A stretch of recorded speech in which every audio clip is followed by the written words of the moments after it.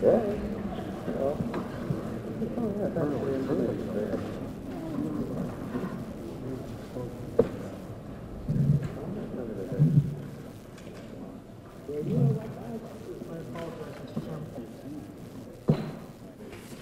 uh, committee will resume sitting, and the chair now recognizes the gentlelady from Florida, Ms. Meek, for five minutes. Thank you, Mr. Chairman. First, I want to thank you for calling these hearings uh, with the possibility of bringing to light what has gone on uh, in the White House uh, uh, with the FBI files and others. I have been here since 10 o'clock this morning. I have listened to each of you, and I came in here with a different feeling about this hearing than I have now. As one who believes in fairness and fair treatment for everyone, I'm somewhat embarrassed by this hearing today. And knowing that our system demands fairness at all times, I have seen our witnesses become beleaguered by their own sort of questions.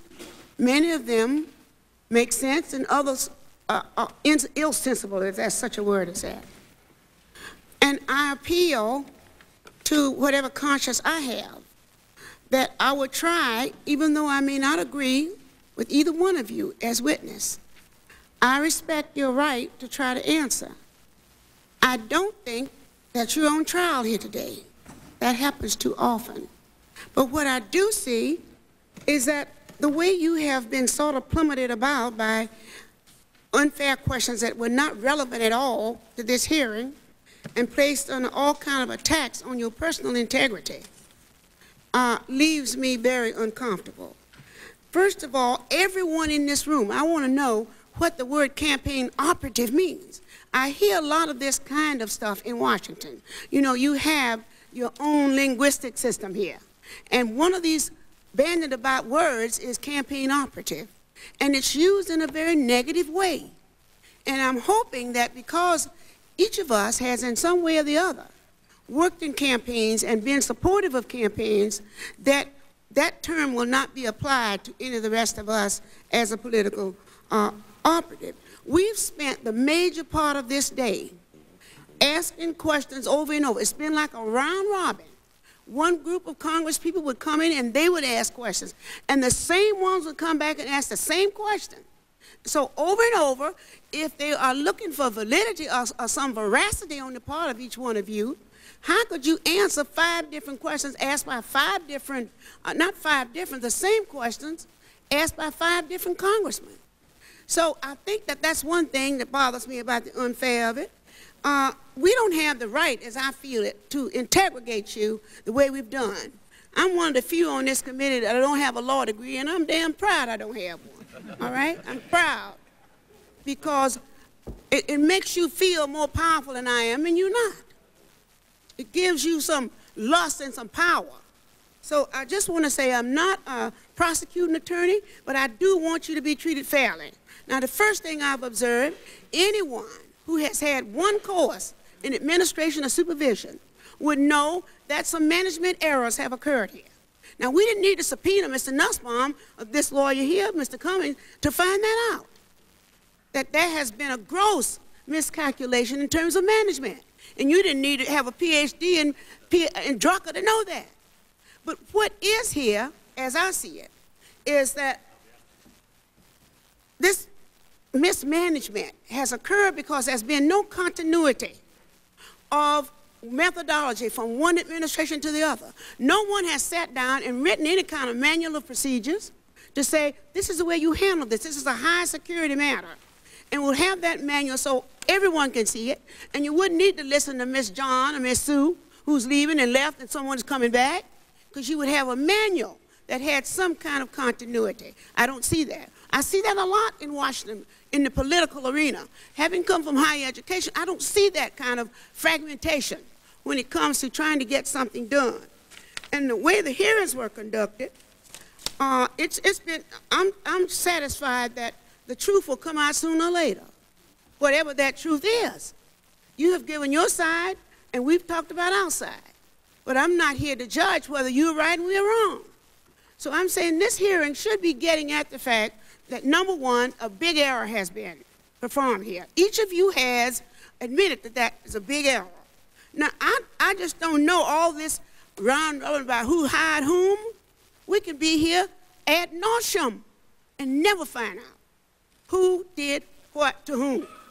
So I wish we could get at the issue, and that is, in the future, let's stop this. Let's do this in a more organiz- organized fashion. Either we put something in the in the statutes, and I do believe in the statutes, Mr. Nussbaum, because I don't know who's going to be here three or four years from now. And I don't know just how they're, they're going to conduct these kinds of things. We don't want people handling the FBI files who are not qualified to do it. I would like to see the security statute that our chairman talked about, had to do with presidential whatever it was, that you not send FBI files to the archives. Why not have some statutory enablement to send them back to the FBI? But if that isn't put in paper somewhere, uh, in print, that will never be done. And also, this legislation, Mr. Chairman, should encompass who should handle security files. And that is not present here today. I don't think anyone uh, is qualified to handle them unless so stipulated by either the, uh, the, the, the statutes or I, I would not put it in the hands of someone who may not be here four years from now. The other thing, uh, I think the White House has admitted, and well, they should, that the management here, they would receive an F on it and not an A. But that doesn't mean that we have a bunch of criminals sitting here at this table.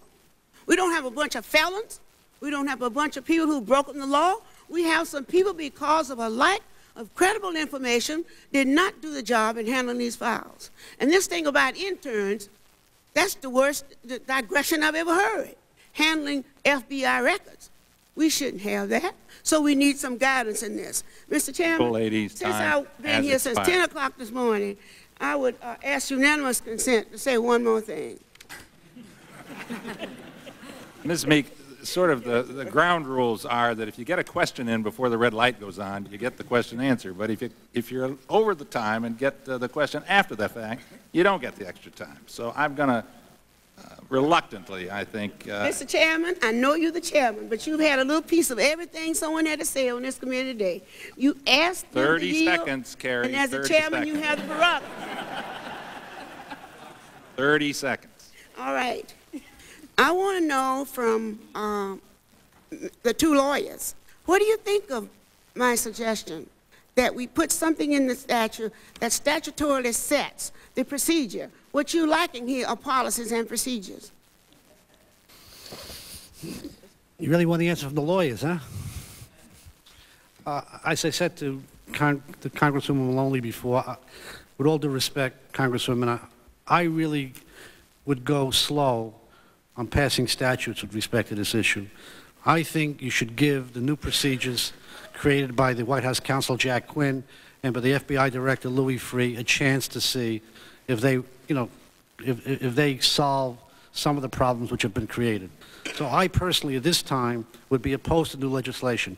Obviously, if they didn't solve those kind of problems, then I would favor new legislation. Mr. Gentlelady's time has expired. Uh, and the chair now recognizes the gentleman from Michigan, Mr. Chrysler, for five minutes. Thank you, Mr. Chairman. Mr. Livingston, who hired you? See what I mean?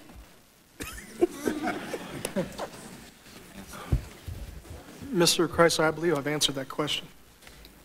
Tell me.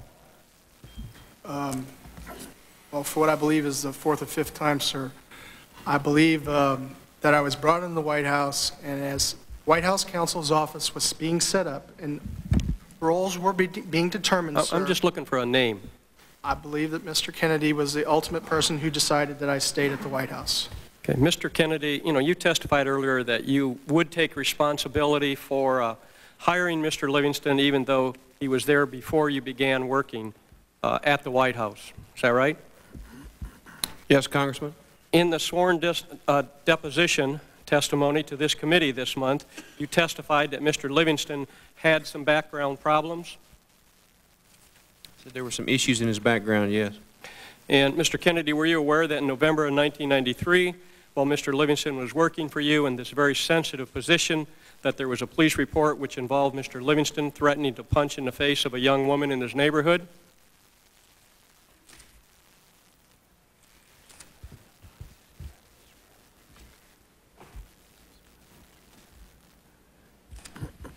No, sir, I was unaware of that incident until press reports had appeared and Okay, when- concurrently when- with these hearings. When you were asked uh, why you didn't replace him, your statement was, no, first of all, it wasn't my decision to make. Uh, And then you go on to say the background problems weren't killers. Uh, The question is, weren't you uh, Mr. Livingston's immediate supervisor? At what point in time, Congressman? At the time of that incident, November of 93? I just testified, Congressman, that I didn't know about that incident until press reports concurrently with these hearings. So he didn't tell you about it when it happened? No, sir. Okay, and um, so let's, let's, let's go on. And Mr. Uh, or Mr. Kennedy, uh, you resigned from the White House staff, I did. and Mr. Nussbaum, you uh, resigned also from the uh, White House, Yes, Congressman. and uh, Mr. Marceca, uh, you were denied a second detail to the White House because of some background problems. I'm not sure that that's quite accurate, sir. Okay, and uh, Mr. Marceca and Mr. Livingston, uh, Dennis Casey, you've had time to uh, read his sw- sworn statement at this time? I glanced at it. Mr. Livingston? I perused it. Okay, and uh, are the facts that he stated about you true? I- I've answered that question, sir. Are- Are they true? I answered the question before, but I'll happily tell you again. Um, As I recall, I was in Pittsburgh for a total of seven days. Uh, After that, I worked till the end of the campaign and was hired again by Mr. Hart to help co-produce his next presidential bid. So my recollection of those events that I was neither removed from the state nor fired from the campaign. That's the recollection I have, sir. And Mr. Marceca? It's got the wrong guy. But it's not me Not you, he's huh? talking about. You know, we've, uh, I I heard a little boy on a radio one time say that, uh, I love my country, but I fear my government. And, uh, you know, we've heard a lot of talk today about statements about the chairman and, you know, smearing people here.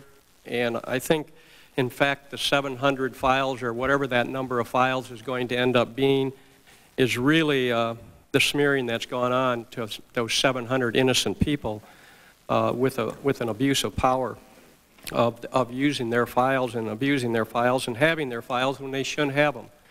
And I think uh, the people here really have impugned themselves and not necessarily, um, there's nobody impugning them.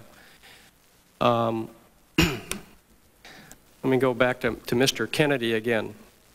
Um, You testified in your deposition that it wasn't my decision to fire him, yet you're responsible, you're responsible for his job because you hired him. If not you, who could have fired Mr. Livingston, Mr. Kennedy? Congressman, I don't have a copy of my deposition. I've never had an opportunity to review it. You keep using the pronoun him. Who are you referring to? Mr. Livingston? Okay, can you read your, can you read this again? Yes. You testified at your deposition that it wasn't my decision to fire Mr. Livingston, yet you're respons- you- you're saying you're responsible for his job, and you hired him, and if you're not responsible for him, then who is? And who could fire him? Well, Congressman, Mr. Livingston ha- has never been fired. I, I know he hasn't been fired, but because of his background problems that you, you acknowledged in your des- deposition, you said you couldn't fire him. Uh, and who could? My question of- is, who could? Out of simple fairness, can I see Point of order, what you're Mr. reading Chairman. from? Uh, Please, sir. If- if I understand the witness saying that their depositions taken and these witnesses were never have an opportunity to read those depositions? I haven't, Congressman. Absolutely not, Congressman. What, what kind of order of procedure is this committee operate? I've never seen a federal court allow, or district court, or commonwealth court, or state court ever allow depositions where the deposed individual was not allowed to read the deposition and certify whether or not, in his opinion, it was true and correct. Now, we've, we've waived those type of protections for individuals? Congressman, I did have a chance to, re- uh, I was briefed on mine. Briefed by whom? My, my attorney.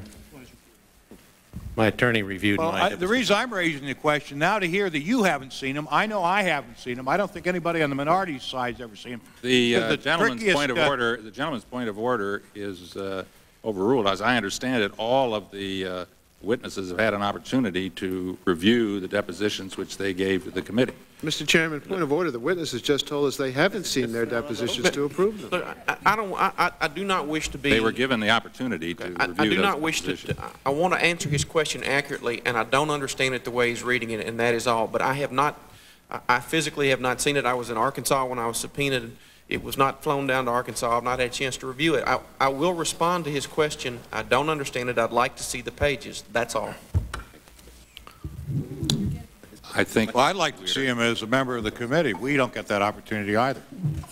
I would tell, tell the gentleman that those have all been made available to all the members of the committee. They've been available to both sides of the aisle. The depositions were made a part of the record this morning. Depositions were made available to this staff, Mr. Chairman. Am I understanding they're keeping away as our staff's fault? Did you have our depositions, copies of them? How long have you had them? As soon as the depositions are reviewed, they're made available.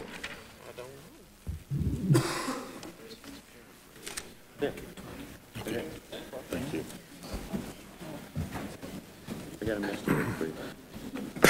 I,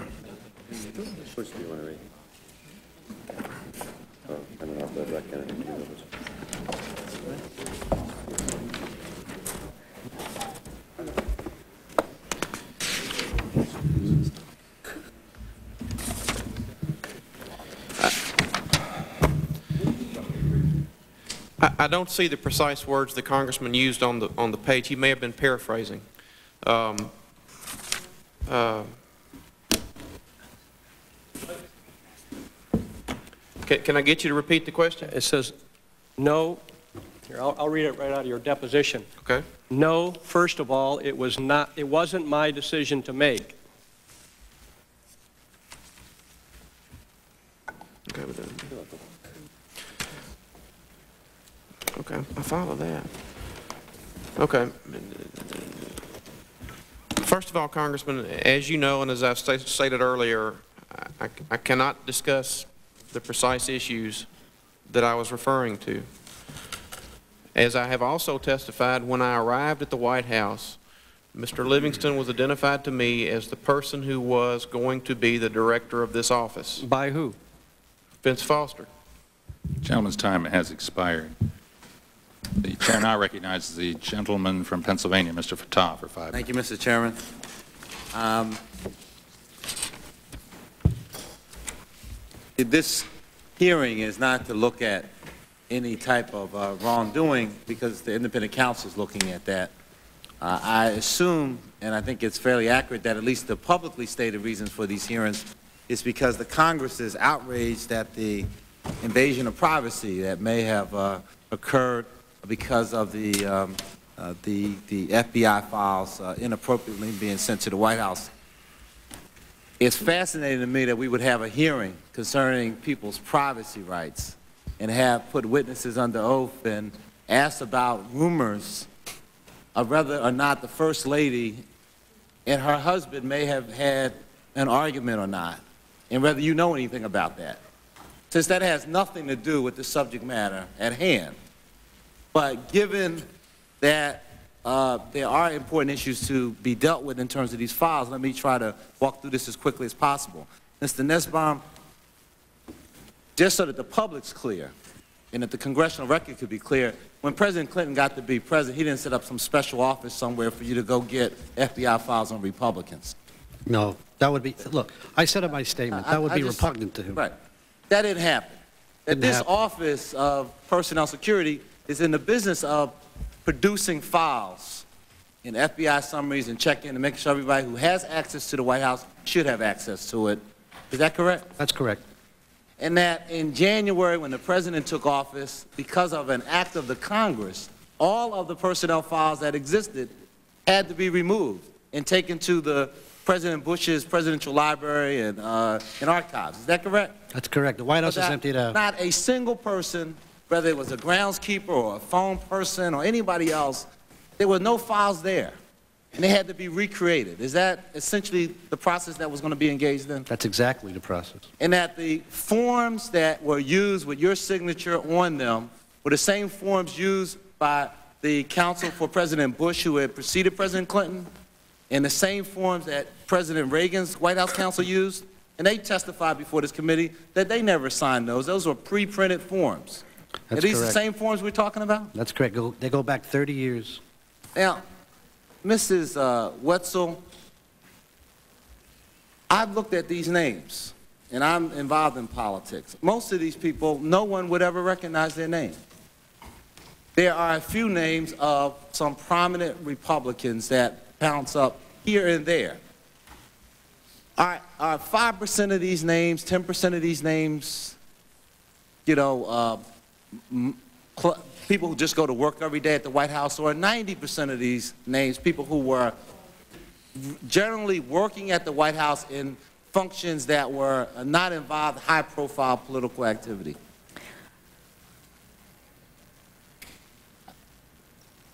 Exactly what names are you talking about? I'm talking about of the 407 that have been The- referred to. The list that I created for- Yes. to archive the files? Yes.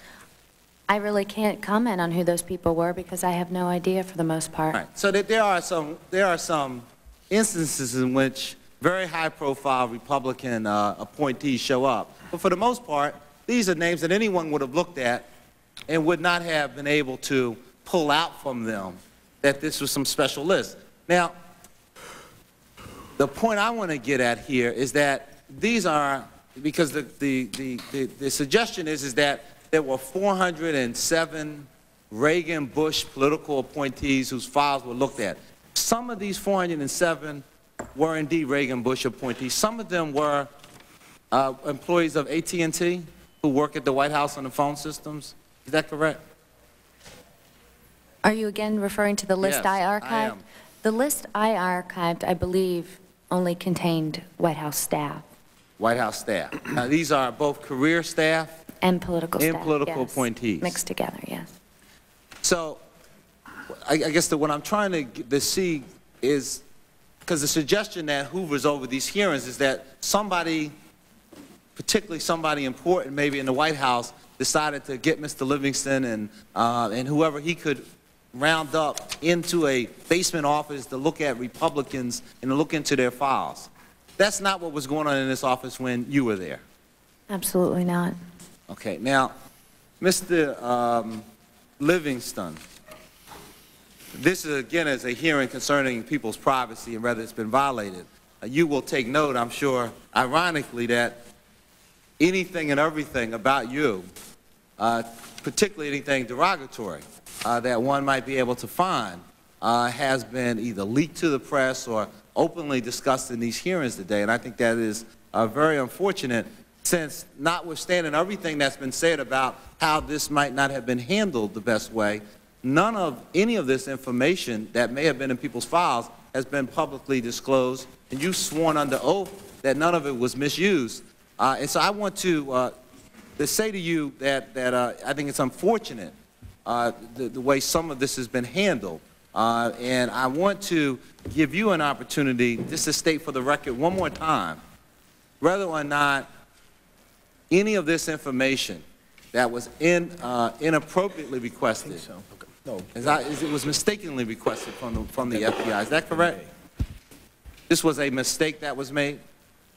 If you're referring to the, 407 Yes, that were on this list. absolutely, it was a mistake. And these 407 were part of a larger group of people who you processed correctly through this office. Is that correct? Yes, sir, we have some 12,000. So, so out of some 12,000, there were 407 that were incorrect, and that of those 407, there's a small fraction of whom are some, in this town, big-name Republican, uh, former Bush and Reagan appointees, a small number of whom uh, were on that list. And the suggestion is you should have seen them. Um, And for benefit of this mistake, you have now been roundly, uh, I think, um, uh, characterized in the press and through much of the questioning in this committee as um, something less than uh, what would have been expected to have this opportunity to serve in the White House. And I want to ask you whether or not you, uh, in your work with the inaugural committee, did you get commended by the Secret Service for your work, um, and was that The- part of your The personnel? file gentleman may answer the question. The Out of some 12,000, there were 407 that were incorrect, and that of those 407, there's a small fraction of whom are some, in this town, big-name Republican, uh, former Bush and Reagan appointees, a small number of whom uh, were on that list. And the suggestion is you should have seen them. Um, And for benefit of this mistake, you have now been roundly, uh, I think, um, uh, characterized in the press and through much of the questioning in this committee as um, something less than uh, what would have been expected to have this opportunity to serve in the White House. And I want to ask you whether or not you, uh, in your work with the inaugural committee, did you get commended by the Secret Service for your work, um, and was that The- part of your the personnel? file gentleman may White answer the question. The time of the gentleman has expired. Thank you, Mr. Chairman. Thank you, sir, for your comments. Um, I received um, not just a standard form letter from the Director of the Secret Service. It's it cited specifically my special uh, uh, sensitivity towards their mission. Uh, And I interpreted that from comments that I heard later, that uh, without my vigilance in trying to educate the staff on the Secret Service's mission, i.e., trying to create events that could be properly protected by the Secret Service, um, an environment where political people could work with the Secret Service and vice versa. I believe that they gave me this special letter from this uh, director and also a plaque uh, commending me on that work. Thank you very Gentleman's much. time has expired. Thank you. Mr. Chairman. Chair now recognizes the gentleman from Minnesota, Mr. Gutknecht, for five minutes. Thank you, Mr. Chairman. I, I just want to put into perspective, because he was here earlier, I don't know if he's left. Uh, as, uh, as our colleague from Connecticut earlier said, where, where this really all started was with the firing of the White House Travel Office. And worse than that, they were besmirched. And I, th- I'm gonna, I, I preface these remarks because I, I think people need to understand, and I, I'm not trying to be personally vindictive or vicious, but, but let's just remind people of what happened to those guys. I mean, seven of them were fired. They were, they were fired, you know, with, with disgrace. They were besmirched on, on national television. One of them had his daughter call him and say, Dad, it isn't so. In fact, two of them, in the interim, between the time they were accused of, of, of being crooks and the time that they were finally exonerated, two of them had to bury their fathers. Okay? I think that's pretty serious. Their, their fathers went to their graves not knowing that their sons were crooks. This is a pretty rough business, and they were treated pretty rough. And I, I preface my remarks because I don't want to sound any more personal than I have to, but I think there are some serious questions that need to be raised. When people are taking uh, highly sensitive files home, when they're allowing interns to go through uh, highly sensitive material, I think those are pretty serious things. But I want to just say, first of all, Mr. Livingstone, I want to confirm, and I want to be as gentle as I can, but, uh, and I don't want to belabor it, that, that you admitted in your uh, deposition that you had a, dr- a drug problem. Isn't that correct? No, sir, I have never admitted I had a drug problem. Absolutely not. Okay. So you did not have a drug problem? No, sir. Okay, thank you. Let me come back to, the, to another issue then. Mr. Livingstone, did you ever ask Mr. Uh, Marceca, and, and frankly, I want to distribute to all members and, and to be fair to the panel, a memorandum which was turned over to this committee just yesterday. Um, I want to make sure they have a chance to look at it. But, Mr. Livingston, did you ever ask Mr. Marceca to review any White House employees' lawyers' responses concerning security background problems?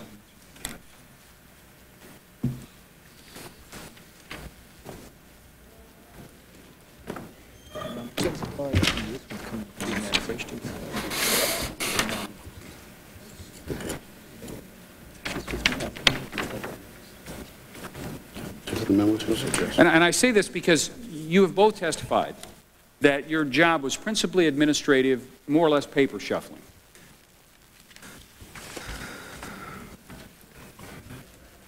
Sir, I'm quite sure I never said in my deposition that I had a drug problem, and I resent greatly you in front of the national press impugning that I do have a drug problem. Well, I, I'm sorry, I'll have to review, review the the deposition. If apologize. did Gentlemen, succeed, I I don't Would mean would to- the gentleman yield on I that point? I would, I would yield to the gentleman from Indiana for, for 30 seconds. As I understand, in your deposition, you were asked if you used illegal drugs. Yes. And you said that yes, you had. You did not specify which ones. What, what bearing does that have on this?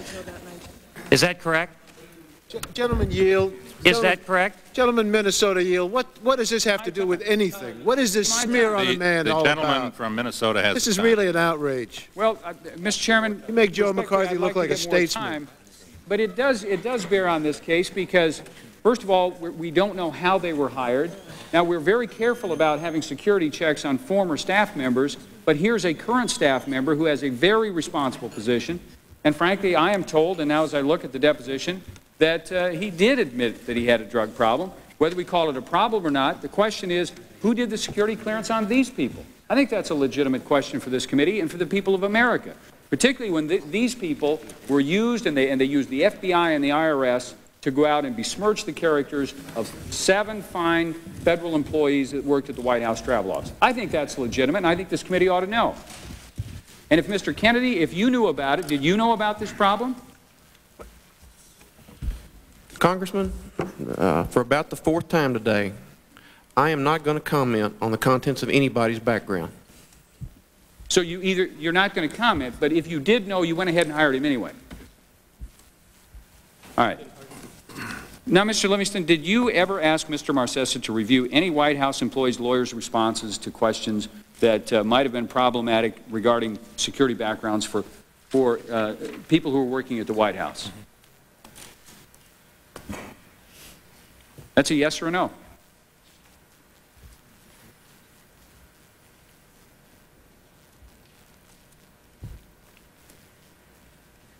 I'm sorry, I didn't mean to outburst at you, sir. Um, I'm trying to collect myself. I would like, for the record, to state that I never stated that I had a drug problem in deposition, and I'm quite confident of that. I would like to try to answer your question now, sir, if you could please restate it. Did you ever ask Mr. Marceca to review any White House employees' lawyers' responses uh, concerning security background problems? I don't understand the question, and I'm not trying to be difficult. I don't, I don't understand what you're asking. Well, if- if, if someone was in, was in the, the, potentially in the position of being fired, and they had asked some lawyer to write a response, did you ask him to clean up the response? Clean up the response? That's right. What do you, what do you mean by that? Well, we have a memorandum here that, that, uh, that uh, Mr. Marceca gave us that essentially shows that uh, Mr. Marceca uh, wrote a memorandum, apparently to you, uh, saying that one particular subject uh, ought to clean up their response so that they won't be fired, and here's how they can do it. Is that true or not? I don't recall anything around this letter. I have no recollection of this, this paragraph, this memo. So you, you never saw the memo before? I don't recall it, sir. Mr. Marceca, did you send that memo to him? I, I did, I believe I did. I don't know that he got it, but I did. And this is what we call a talking paper. It's got alternatives. And uh, that's what it is. It's, I believe it's information off of an SF-86, but I'm not even sure about that.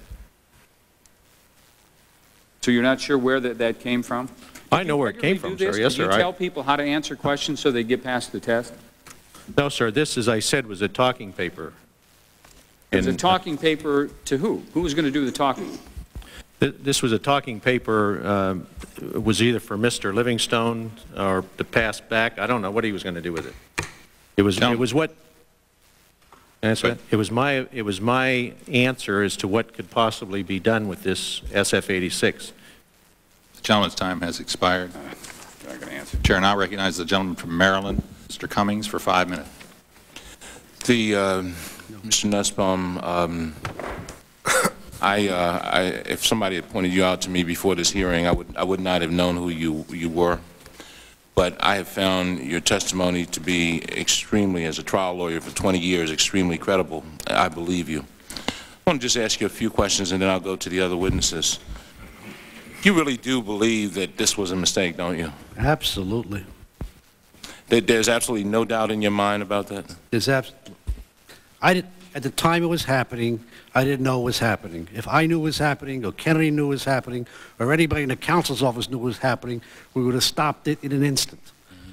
But, you know, I, I cannot believe that anybody in the White House, and having sat here today listened to Mr. Marceca, who I didn't know, and I don't believe ever met, and Mr. Livingston, who I do know, and didn't meet, but didn't have a lot of dealings with particularly, I cannot believe that they or anybody else in the White House would commit an intentional breach of privacy. This wasn't, this appears to me to be an unintentional error, that's what I so believe.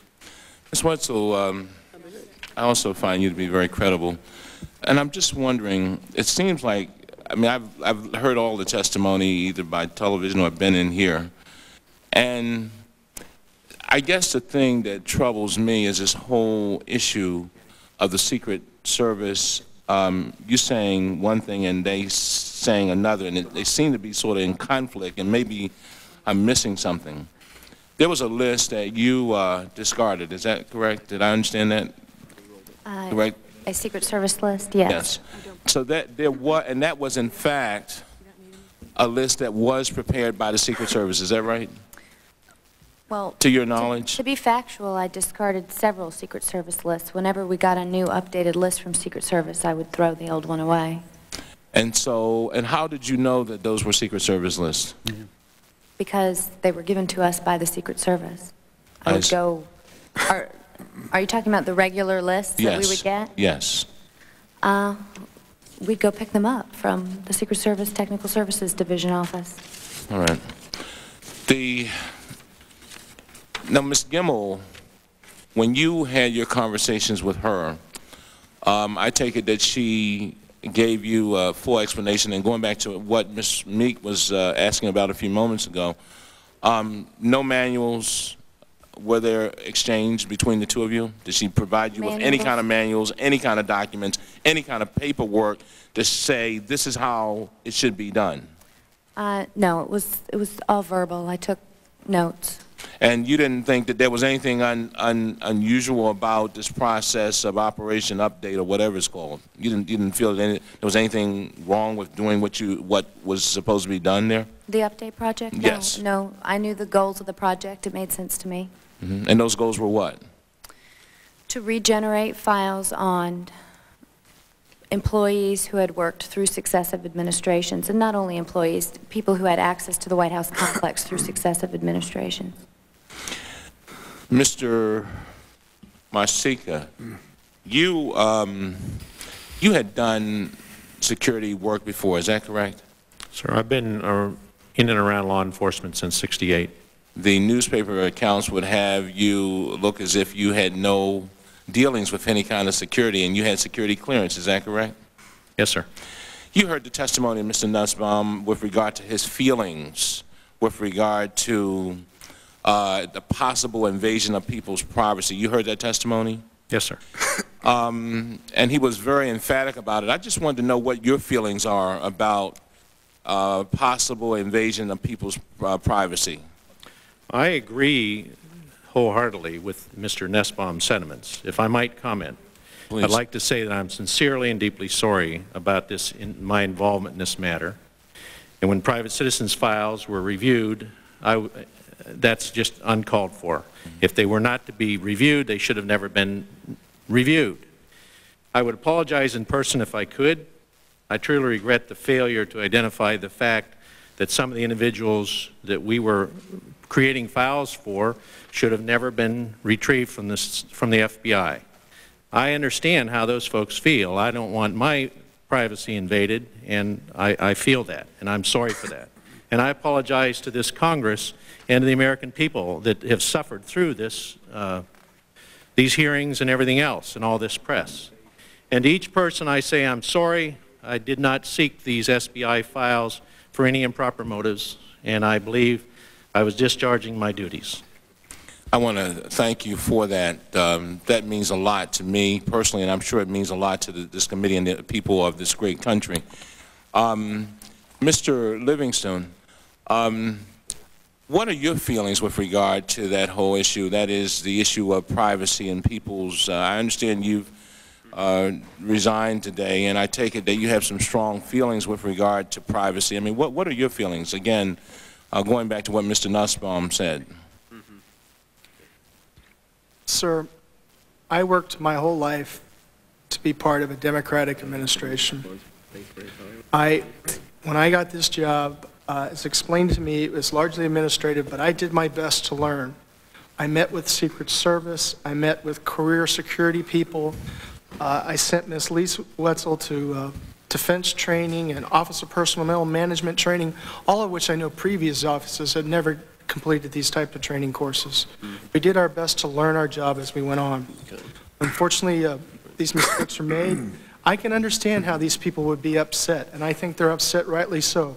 But I would like to assure the committee and the American people and you, sir, that at no time did anyone ever ask me, the president, the counsel to the president, the chief of staff, or anyone I report to or anyone I work with, to do anything illegal or untoward or violate the trust of the American people. I resigned from my job today because of that, because I realized that, that was my responsibility, and I am terribly sorry for that, and I'm sure I will pay for a good part of my life uh, with that knowledge. Thank you very much. Gentleman's time has expired. Chair now recognizes the gentleman from Indiana, Mr. Souder, for five minutes. Mr. Livingston, I have um, another question for you. You said you'd worked your whole life to be part of a Democratic administration, and one other, uh, at least rumor in the press that circulated, is that you either volunteered or worked for, at one point, the Bush Quayle campaign. Is that true? Did you ever work in that in any capacity, volunteer, uh, approach to volunteer for the Bush Quayle campaign? No, sir. Thank you. Um, also, you stated earlier, um, we may have follow-ups on that later on, but I, I take you at your word. And one of our jobs, if I can just clarify this, is one reason we ask questions multiple times, and this is not an allegation that this is like Watergate, but in, as somebody who watched that type of thing, the witnesses usually the first time around will say something if there is anything to cover up, to cover up. They'll also give that answer if there's nothing to cover up. Our job is to try to draw that out. And just because somebody answers a question a certain way doesn't mean to go, oh, well, we made a mistake with a hearing. We don't know until we do a full round of hearings with a lot more depositions, with a lot more things. But I want to give you the benefit of the doubt. I take you at your word. I have no other evidence that that's not true, so I accept that. You stated earlier in this hearing that Evelyn Lieberman admonished you about not being sensitive about a person's file. In the hearing today, what file was that? I don't recall, sir. You don't recall what, Mr. you recall the incident, but not the, Mr. Chairman, a point of order. I I know the gentleman is trying to be, not trying to be destructive, but that could get into Privacy Act concerns, I would think. I'm not asking what was in the file, I was just asking if the... He's the- yeah, already the question stated was just some of what was in the file. The question was just uh, whose file it was, not whose What I'm saying, Mr. Chairman, is he's already indicated that there was something in there, and he talked a little bit about that. And if you now put the name to it, you have, you have, I don't believe there's any testimony as to he specific... talked about the fire extinguisher. Mr. Chairman, even if I remembered, I couldn't say. Well, the point is Okay, you don't I- remember, I'll right? go on. Why did Evelyn Lieberman talk to you about this problem? She's an assistant to Maggie Williams, the chief of staff in Hillary Clinton, the First Lady's office. Why would she have talked to you about that? As I understood, sir, a person approached her. A person that you talked to approached her. Why wouldn't she have gone through the normal chain of command rather than going to you directly? Did you have a relationship with her? Did she know you? Do you talk to her on a regular basis? You're asking me to guess, but as I testified earlier, uh, I believe that the specific incident was around that I had uh, said something about a person uh, having a sorority or fraternity prank and setting off uh, fire extinguishers. And perhaps her inference was that it was not meant to be something mean-spirited or or contemptuous, but inappropriate, and was making me know that that that type of comment would be inappropriate. And I took it as such. Did she come to your office and tell you that? No, sir, I believe I testified earlier that uh, I miss, I'm sorry. We talked out, I wasn't trying to be rude. I I believe I testified earlier that that we talked about it in the hallway. Do you know when that occurred? Wh- Approximately Quite some time ago. uh, in the first period of time you were there or partway in? I don't recall, sir. Did you ever, um, Mr. Kennedy, uh, may I ask you briefly, did you ever hear about this incident from Mrs. Lieberman or anyone else? I don't recall, sir. I don't believe so. You uh, mentioned in the uh, course of um, this question of, of who hired you, and I know we've asked that multiple times, but we all know that you can't just walk into the White House. We understand how, what's happened after that, um, and how it came to be Mr. Kennedy's responsibility. Uh, you've made some suggestions, but you can't just show up the White House without, no, with the clearance without knowing who got you there. Um, what, what's partly concerning this committee is you also said that one of the people you approached about a job was Mr. Thomason. Um, can you try once more? I understand the basic answer, but you don't know who told you to show up that first day that your clearance would be there or how that information got to you that you can get into the White House. You can't just walk into the White House.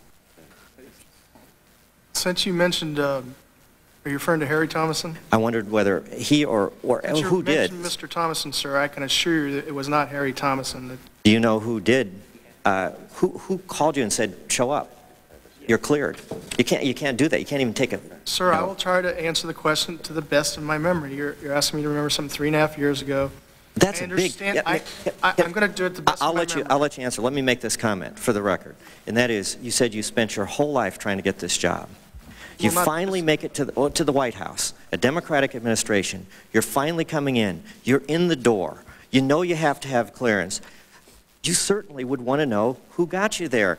I mean, that's hard for anybody to believe that, well, however long ago it is, we all know, we know who gave us our first $1,000. We know who worked door to door. How could you not know who got you the job? I, I said earlier, and I will say again, that I worked on the inaugural committee. After the inaugural committee, I did some advance uh, for the president and perhaps the vice president until February. Um, In February, as I recall it, Ms. Varney, Christine Varney, and I talked about work at the White House and possibly working uh, in this position, which I held in- uh, until recently. The, the only recollection I have, sir, is uh, Ms. Varney, and there was some mention of Mr. Foster today. Perhaps Mr. Foster sent me to see Cheryl Mills, but I remember talking to Cheryl Mills specifically about working at the White House. And as I said earlier, um, as I recall it, she said something like, I don't think I'm going to be in charge of this area, but when it's determined who is, that person will decide if you're going to work. For the record, did you ever thank anybody? Um, And if so, who? You never thanked anybody for getting you a job at the White House? I'm pretty sure I thanked Ms. Varney. No, nobody else? help. I didn't know uh, Mr. Kennedy or Mr. Mills. Never thanked anybody in the political operation, anybody in the First Lady's office, anybody who would, you'd worked with in the campaign, say, hey, thank you for helping me get a job? I don't, I don't recall that, that that ever happened, no. If I could ask you one more question related to Mr. Thomason. Did he ever ask you a question? Did anybody associated with him ever ask you a question? Or did you ever volunteer any information to him or anybody associated with him, anything regarding Billy Dale's or any other travel office file?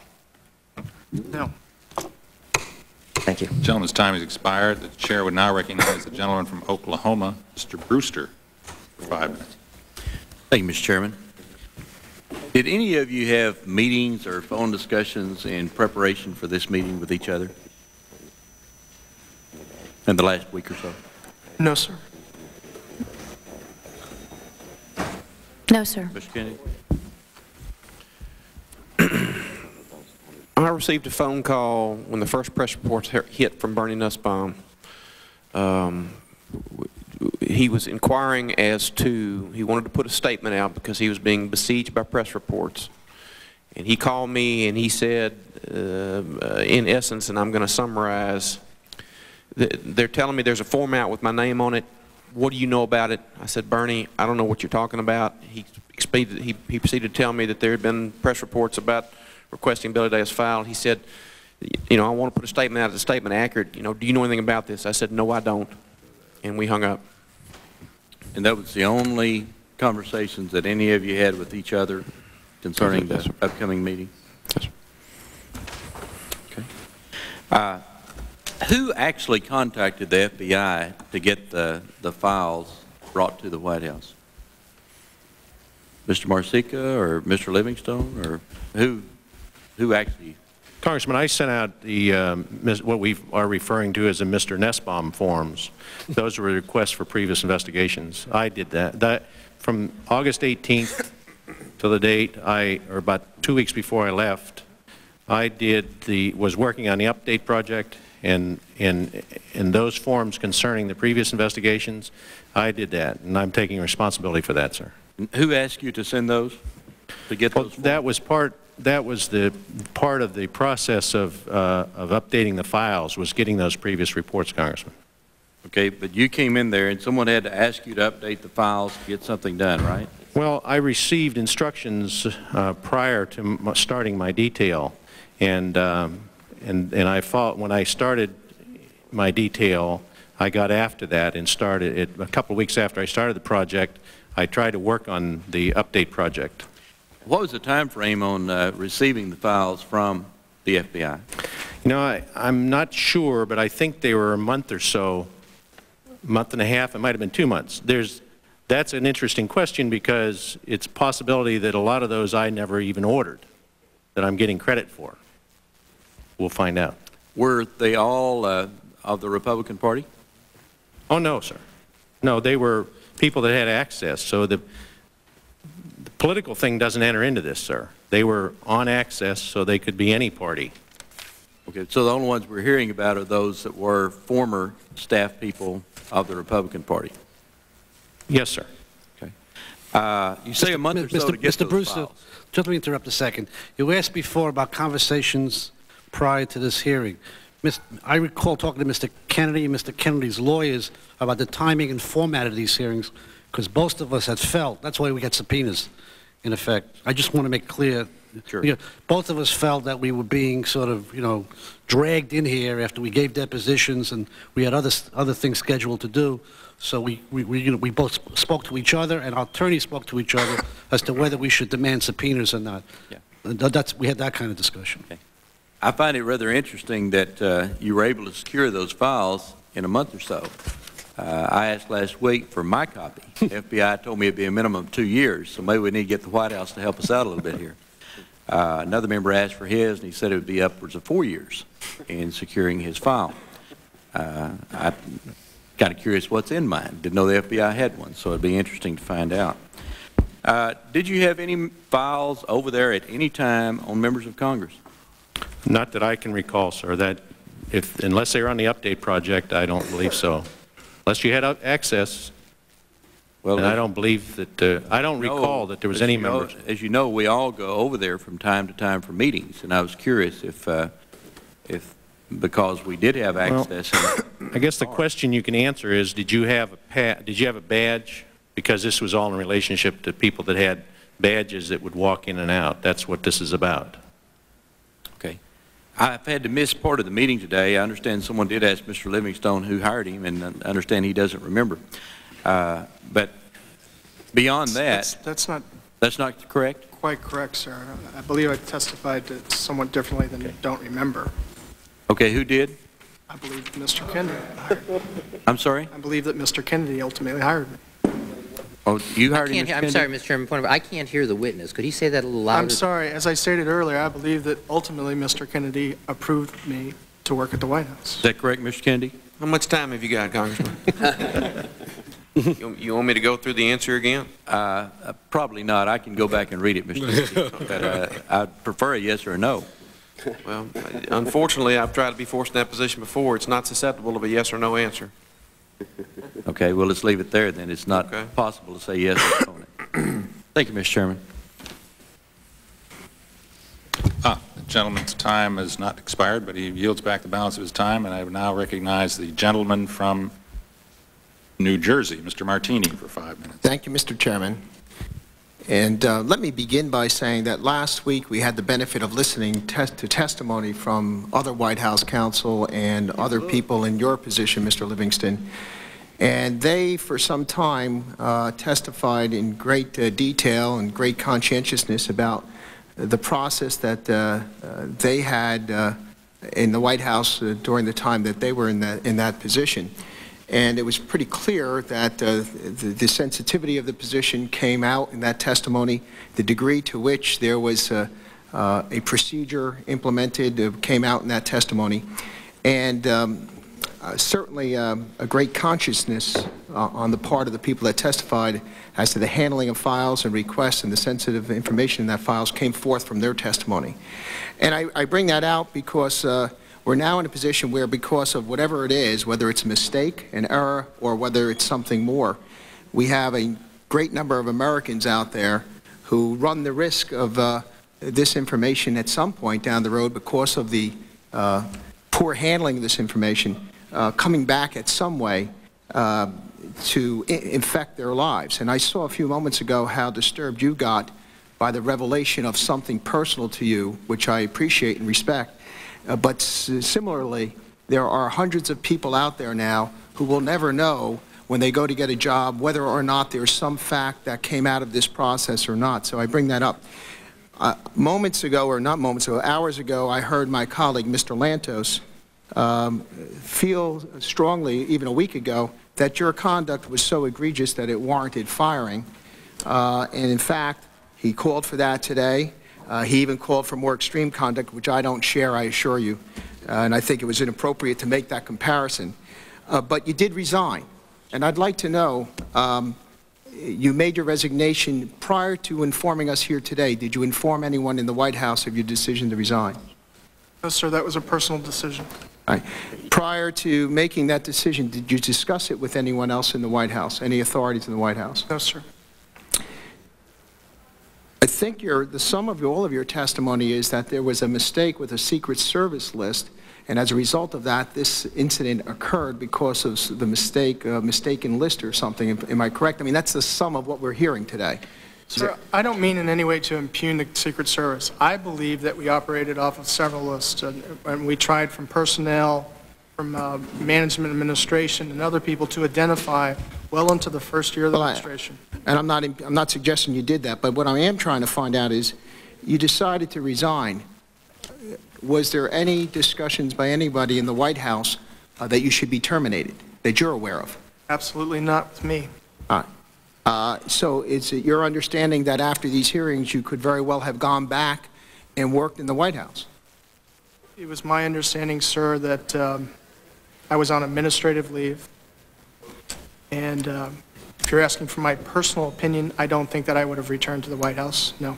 By the decision of the White House or by your own decision, which you made today? My own decision. All right. So your, the, the, at least environment that you left the White House in was that they would take you back. Uh, You believe you still had a job back there? If you're asking my personal opinion, I am.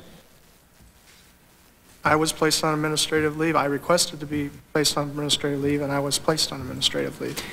So in a sense, what you're saying is no one at the White House felt as egregious as Mr. Lantos did some hours ago about your conduct, that two weeks ago, or whenever this began to surface, they came to you and suggested that you either leave, terminate, or that there might not be a position back there for you. That discussion never occurred, is what... No, sir, I don't, I don't believe that's a- a reasonable, and if I might say, nor fair characterization.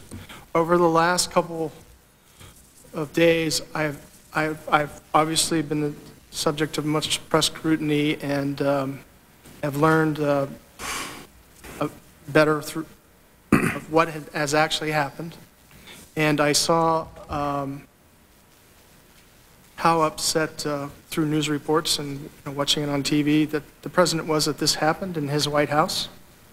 And I came to a personal decision that uh, my inability to supervise my office correctly led to this, this decision, and ultimately I should resign. Uh, Mr., let me go on to a different subject.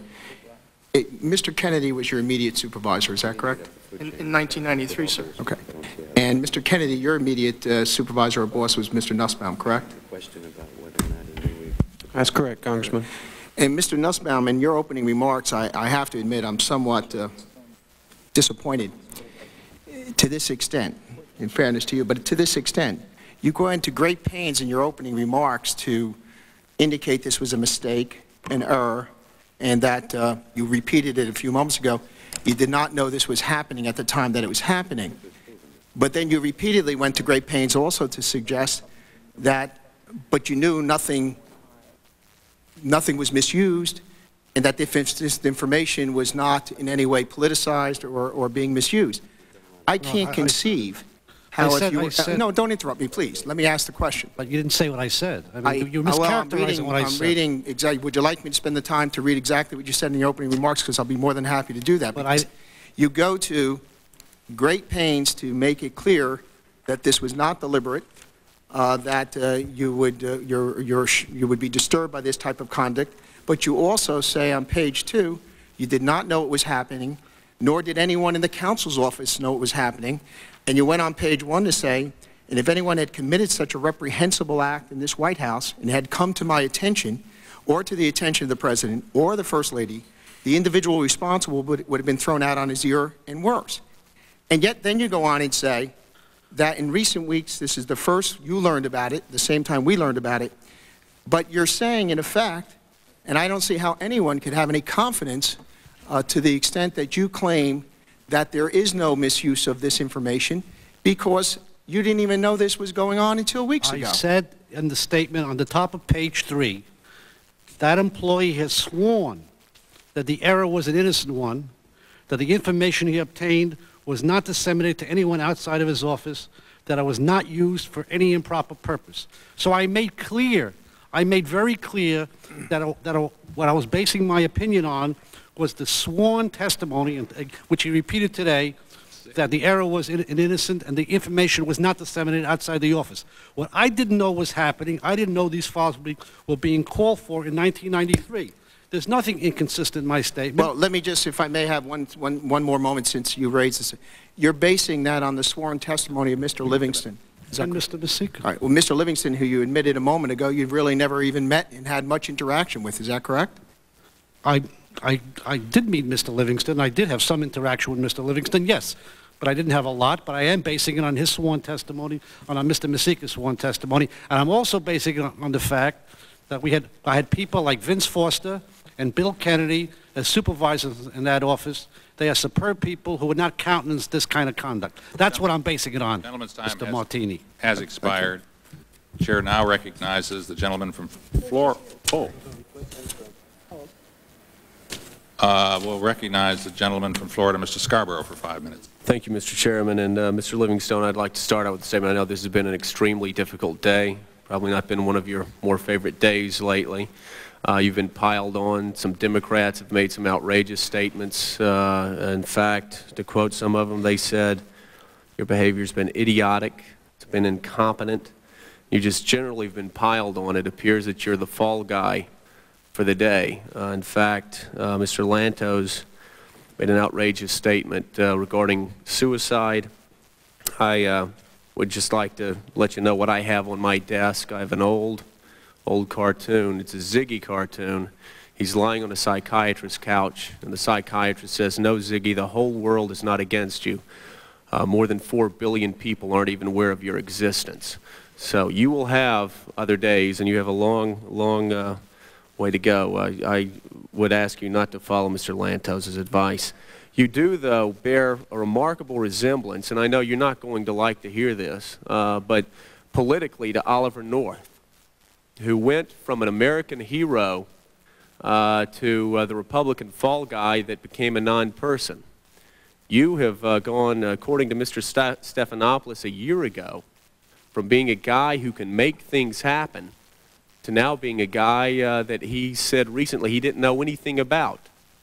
Uh, there is more than enough blame to go around uh, that shouldn't just fall on your shoulders. There are other people in the administration, other people in this Congress uh, that didn't want this information to come out. In fact, uh, about a month ago, we, this has been called a political witch hunt today. A month ago, it was called a political witch hunt also when we were trying to get 1,000 of these documents that everybody on this side of the aisle said we had no right to get because it was executive privilege. They said it was a political witch hunt then. They're saying the same thing now. If we hadn't have gotten those documents, you wouldn't be sitting here today none of this would have ever come out. So it seems to me that there's more than enough uh, uh, share of the blame to go around. And I, I think it is, is very unfair, but I, I suppose that's why they call it a blood sport. I think it's very unfair that you have been left out uh, hanging in the breeze today by uh, some people who I think share the responsibility also. I do want to ask a question of Mr. Kennedy, uh, and it's a question that I'm, I'm sure you will uh, suggest has been asked several times before. Let me ask it in a, sep- uh, in a different way. Uh, today, you basically said that you would take responsibility for hiring Mr. Livingstone, if I'm not mistaken. Um, and uh, I have a deposition here that, uh, that I think somebody's brought to your attention before. There was a question asked of you when several things came up, and, uh, and they were suggesting that Mr. Livingstone should be fired for some things that he did. Uh, the question was asked, did there come a time uh, when you uh, considered having somebody else in that position? Your answer was no. First of all, it wasn't my decision of make, to make. And second of all, the only concerns I had concerning these matters, uh, which were not, and then you said I don't know how to describe them. So I, I'm, I'm sure you can understand why, uh, that's on page nine of, uh, of your deposition. Uh, I'm sure you can understand why, why obviously some of us are scratching our heads when today you stepped up and you said, yes, I take responsibility. I had the responsibility. And then, of course, in this deposition, you said it wasn't your decision to make. I'm sure you know when, whether it's a law firm or a member's place in Congress, usually somebody has hiring and firing ability. Well, Congressman, the, the, the trouble, the trouble with this is you, that we're comparing apples and oranges. First of all, the, the questions that have been put to me is put to me have been basically at the time I first got there, did, did I basically assume responsibility for Mr. Livingstone's employment? The answer is yes. Now, this question says, and I'll read the question. Now, did there come a, now, did there come a time when you considered having someone else in that position? I answered no. First of all, it wasn't my decision to make. Mm -hmm. Mr. Livingston was on the payroll of the counsel's office. I would not have fired Craig or taken any action against Craig in a material way without checking with my superior, Mr. Nussbaum. Mm -hmm. Okay? Right. And I wouldn't, I, I, I would made a recommendation to Bernie, this is something we should have done, but it would have been his call because he was my superior. Okay. I believe a few minutes ago I, I heard Mr. Livingstone suggest that in the end you were responsible for his hiring. Well, uh, so again, it, it, well. usually in most management structures, I'm sure you'd agree with this, in most management structures, the person that had the hiring, the ability to hire also has the ability to fire. And can, can you understand why we're more than a little bit confused on this issue? Uh, the, the short answer is yes, but the reason is it's a complicated issue. Um, uh, people have all day tried to make a yes and no you know, Mr. Kennedy, I want a yes and no answer from you, and the problem is it's not susceptible of that. If you're going to give an accurate answer to this question, you have to explain the circumstances in the background, which I have tried to do to the best of my ability. Okay. Um, can you tell me, um, well, Mr. Chairman, I'll yield back the balance of my time. Gentlemen, uh, uh, the... Uh, Would the gentleman yield me? Ye yes, yes, I will. Mr. Horn. Let me read from uh, Mr. Uh, a story in today's Washington Times. Just tell me if this is true or false, Mr. Kennedy. Uh, it says here in the Times, Mr. Kennedy kind of poo-pooed objections to Mr. Livingstone. Uh, Mr. and tell me the right pronunciations, uh, an FBI agent, told Senate investigators, quote, he didn't like it, he was stuck with him, brackets, Mr. Livingstone, because, bracket, because you know who wanted him there, meaning the First Lady, unquote, Mr. Sculimbrene said. In a July 1993 report, the White House acknowledged that the travel office firings were a mistake and that Mrs. Clinton met with high-level officials as they planned action against the travel staffers. So now, you, as a partner of hers in the Rose Law Firm, the question is, to what degree was the First Lady protecting Mr. Livingstone? Is this an inaccurate article or what? Well, uh, with all due respect, Congressman, I'd really like to have a copy of that article to respond to it in its entirety. Um, but leaving the article to one side for the moment, I, I can state that I have never discussed Mr. Livingstone with Ms. Clinton in any way, shape, or form. Nor did I. You seemed reluctant to say that Mr. Nussbaum uh, was uh, really could do anything about it, so somebody above him must have. The chair now recognizes the gentleman from Illinois, Mr. Flanagan, for five minutes. Thank you, Mr. Chairman. day. I, I want to return to something far more prosaic, um, the lists. The list. Actually, there, of, of all the lists we've talked about and had handed out and run around here, the only list we're really interested in is Mr. Marceca's list. And you said, if I, if I remember correctly today, that you got the list from the vault. Yes, sir, it was in the vault. Okay. And to the best of your memory, the list was prepared by the Secret Service. That's what I was led to believe before I started. Yes. Okay, all right. And um, Ms. Wetzl, you said that the Secret Service has two kinds of lists. A regular list for regular people who want to come visit the White House, and that is a list of a, of a cursory check of some kind to make sure they're not terrible. Then they have a, an access list. Have I, have I, have I missed that somehow? No, I believe what I said was we weren't responsible for appointments. Uh, Regular people who just come for lunch or or whatever, that's all handled by the Secret Service. I don't know if they have a list or or what. So you really have only one kind of Secret Service list. No, we have several other kind of Secret Service lists. What might those be? There were several different formats for the same information about pass holders. Okay. And what might those different formats take? I- Well, let me ask this question. How often were those lists generated?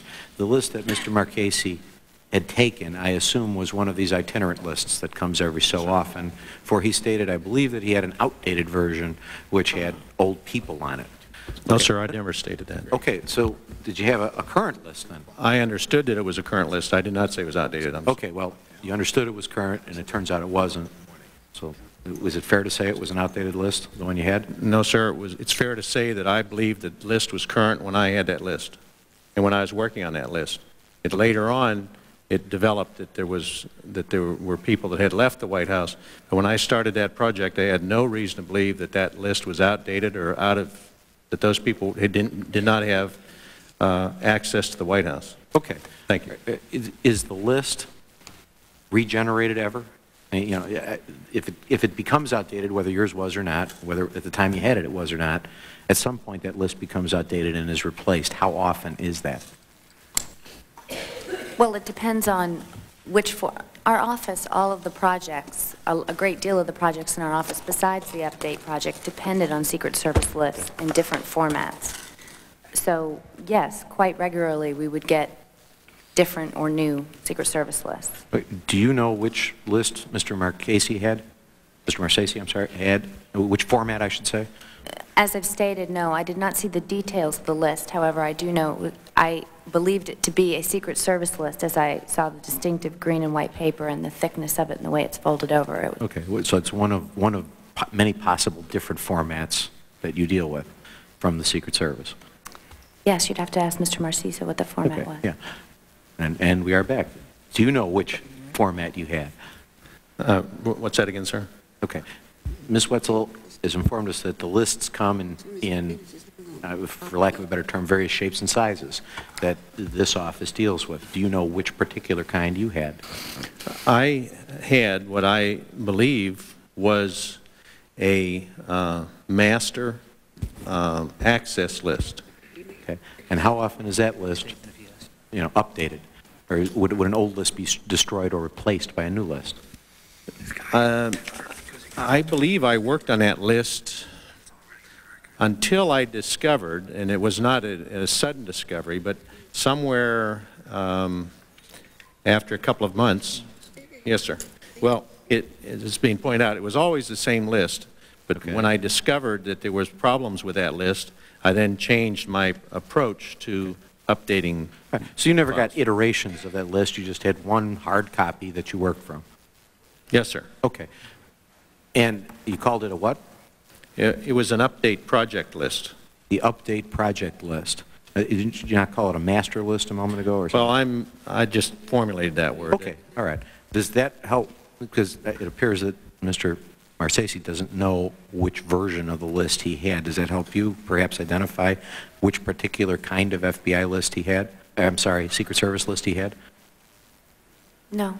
No. It's the same information, basically, in different formats, different parameters that we would give the Secret Service. From that, those parameters that we would give them, they would produce these lists for us. So I don't, I cannot testify as to the details, the format. of his list, that particular list. Okay. All right.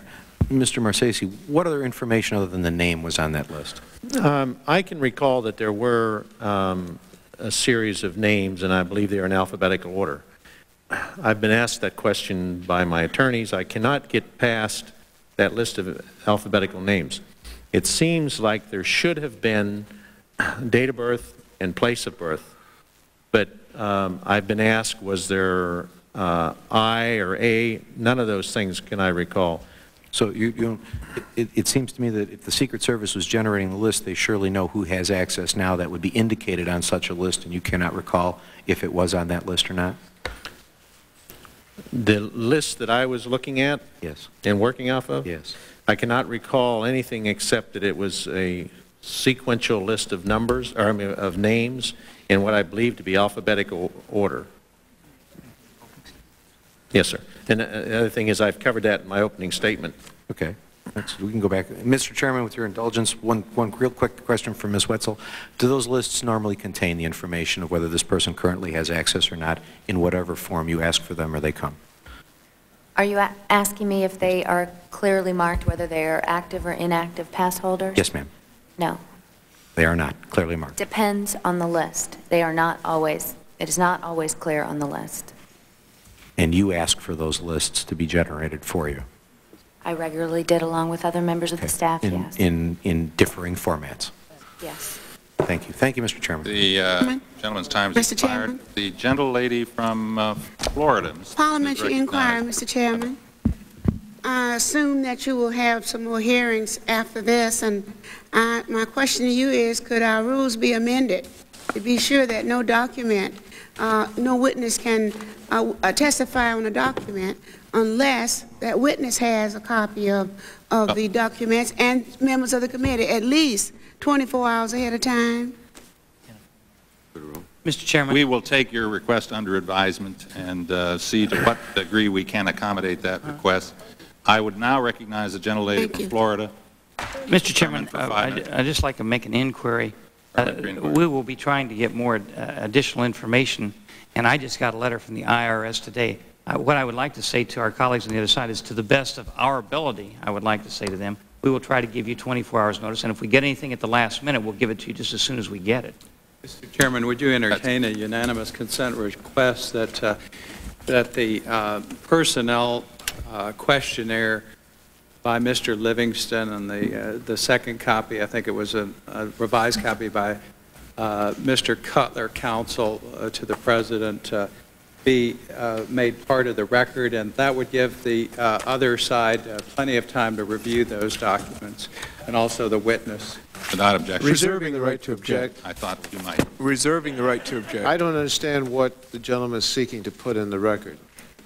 Perhaps he ought to Was it- share it with us. there was a It was the air-launched, uh, the air-launched uh, personnel Question- personnel questionnaire, file. which I became in possession of just a uh, a few hours before the hearing uh, started today.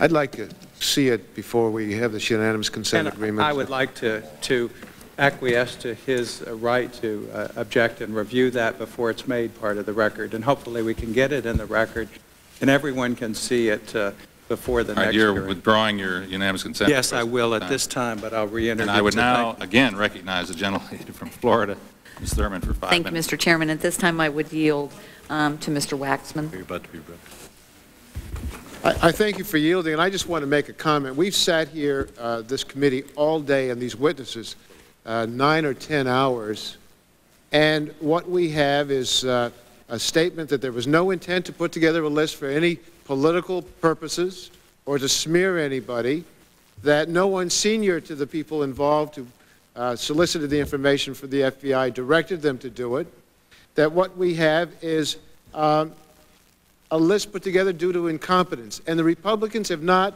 given us any evidence to the contrary. Seems to me that before salacious comments are made, rumors are thrown around, there ought to be evidence. Maybe that's not uh, only maybe that's not important in a in a political campaign, which is what this hearing's all about, but it ought to be evidence that is on the record and not just rumors that are thrown around. I thank the gentlelady for yielding and for that, so I could make that statement. Thank you, and I would yield now uh, a minute to Ms. Maloney. I, I thank the lady for, for yielding. First of all, I'd like to summarize a few points um, and facts that came out in today's hearing. Of the 200 additional files that the FBI disclosed uh, last night, none, none of them are, are personnel files of, of um, government employees in the White House. The, the 200 additional files are all GSA employees. And I'd like to try to clear up, as well as I understand it, some of the confusion around the, the lists.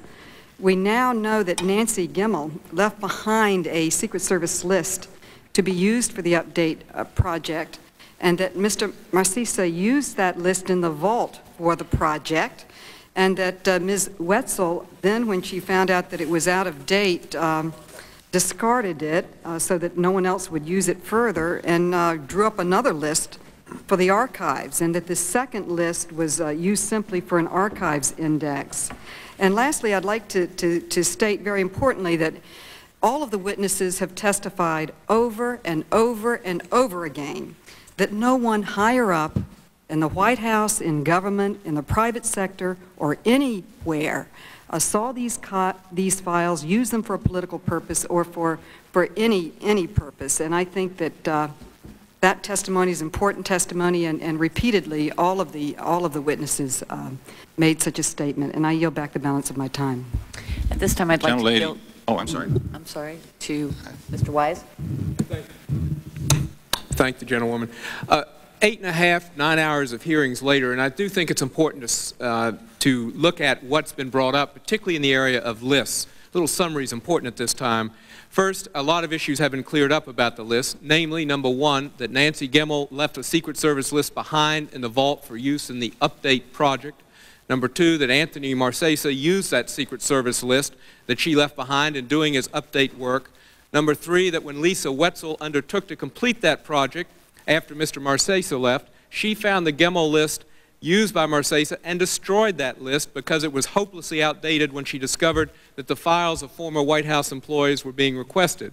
We've also learned that the witnesses, Mr. Nussbaum, Mr. Kennedy, Greg Livingstone, Lisa Wetzl, and Anthony Marceca, under oath, have testified that no one, no one higher up in the White House and no one outside the White House has ever requested that this information be used for political purposes, and that most important, no one in the White House ever requested to see or review that information for inappropriate purposes. That's the summary of what we've gotten out of eight and a half hours today. I yield back to the gentlewoman from Florida.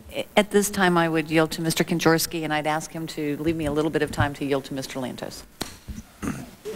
Uh, Mr. Chairman, I'd like to make an inquiry again on the offer of, uh, that I made earlier, of the five specific documents in the uh, prosecution review, whether or not the chair is prepared to admit that into the record, as it uh, did admit into the record an email message. The uh, chair is not prepared to admit that into the record at this time. We will have additional hearings on this matter. Uh, as I indicated to the gentleman during the break, uh, we had uh, agreed with the Justice Department that we would not enter the PROS records into the, into the record until we had had a chance to consult with them. We have not had that opportunity, so at this time, the uh, request would be premature. Mr. Chairman, I then would make this motion and ask that it be put to the committee. I ask unanimous consent that all 1,000 pages that were qualified and presented under subpoena to this committee be produced and made part of the official record. If this committee can see that, if this staff can see those, if parts of the press can see it on a selected basis, I see no reason why it shouldn't be part of the, uh, of the transcript of this hearing so all the American people can know what's involved and what was produced by the White House for this committee. M- Mr. Chairman, reserving the right to object. uh, Chairman reserves the right to object. uh, Let me just say that uh, I have no objection to anybody seeing any part of these documents. It's just you're talking about such a huge volume of this, and every member of this committee has the right to look at those. Right. And to have all of those things printed in the record, it seems to me would be a waste of Reserving my time, money. Mr. Chairman, I think I have the time, and the chair... No, I reserve the right to object, but I'll yield to you under my reservation. Mr. Chairman, how will the time, because I promised time back to the lady from Florida, so that I, um, I won't be charged by Mr. Burton's time, I assume. And, and it, You're yielding back the time. No, no, I want, I want to Mr. go Chairman, over... point of order. Uh, He, he, he asked unanimous consent, and I reserve the right to object now. The chair can make a ruling on that. Well, you've And in reserved. reclaiming my time, Mr. Chairman, I, I believe that he was trying to reserve the time that that debate took place for myself so that I could yield it, I believe was what. We will, that was we will yield you a- a minute at the end of this uh, colloquy. All right. Uh, uh, So, Mr. Chairman, so Mr. Burton understands what we're doing here. The chair put into the record today a copy of an email message that indicated between FBI agents, in that message, it was a question of whether the Billy Dale trial should occur. And there's a reference to let's do it before elections. And that is very, very uh, uh, insinuating that there was a political motive here. When in reality, I believe the chair and the counsel for this committee know full well that the statute of limitations on these charges were going to expire precisely on election day, and that the FBI agents in communication had said that the had started to pick the election day as the mode of operation to know that if they didn't bring an indictment for election day, they would lose the process. Having interjected that into the record, have asked for the documents of review for prosecution in that case now be made part of the record so all the American people can see that this Justice Department proceeding with that prosecution had independent, fair minds decide that an indictment should be acted upon and a prosecution carried out. The gentleman made a very, to deny that gentleman's made a very eloquent, uh, eloquent argument in favor of entering these items into the record. But I would just again reiterate to the gentleman that I have an agreement with the Justice Department that I would not divulge that information without consultation with them. We will have an opportunity to Mr. Chairman, consult. I would uh, like- I, I, I will have an opportunity to consult with them prior to the next hearing.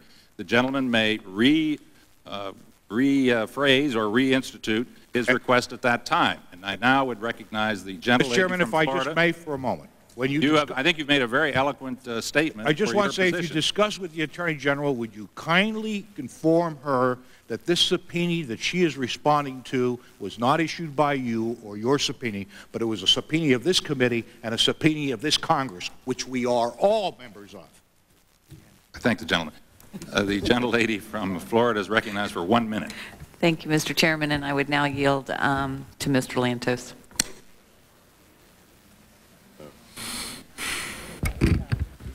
Mr. Chairman, I rise on a point of personal privilege.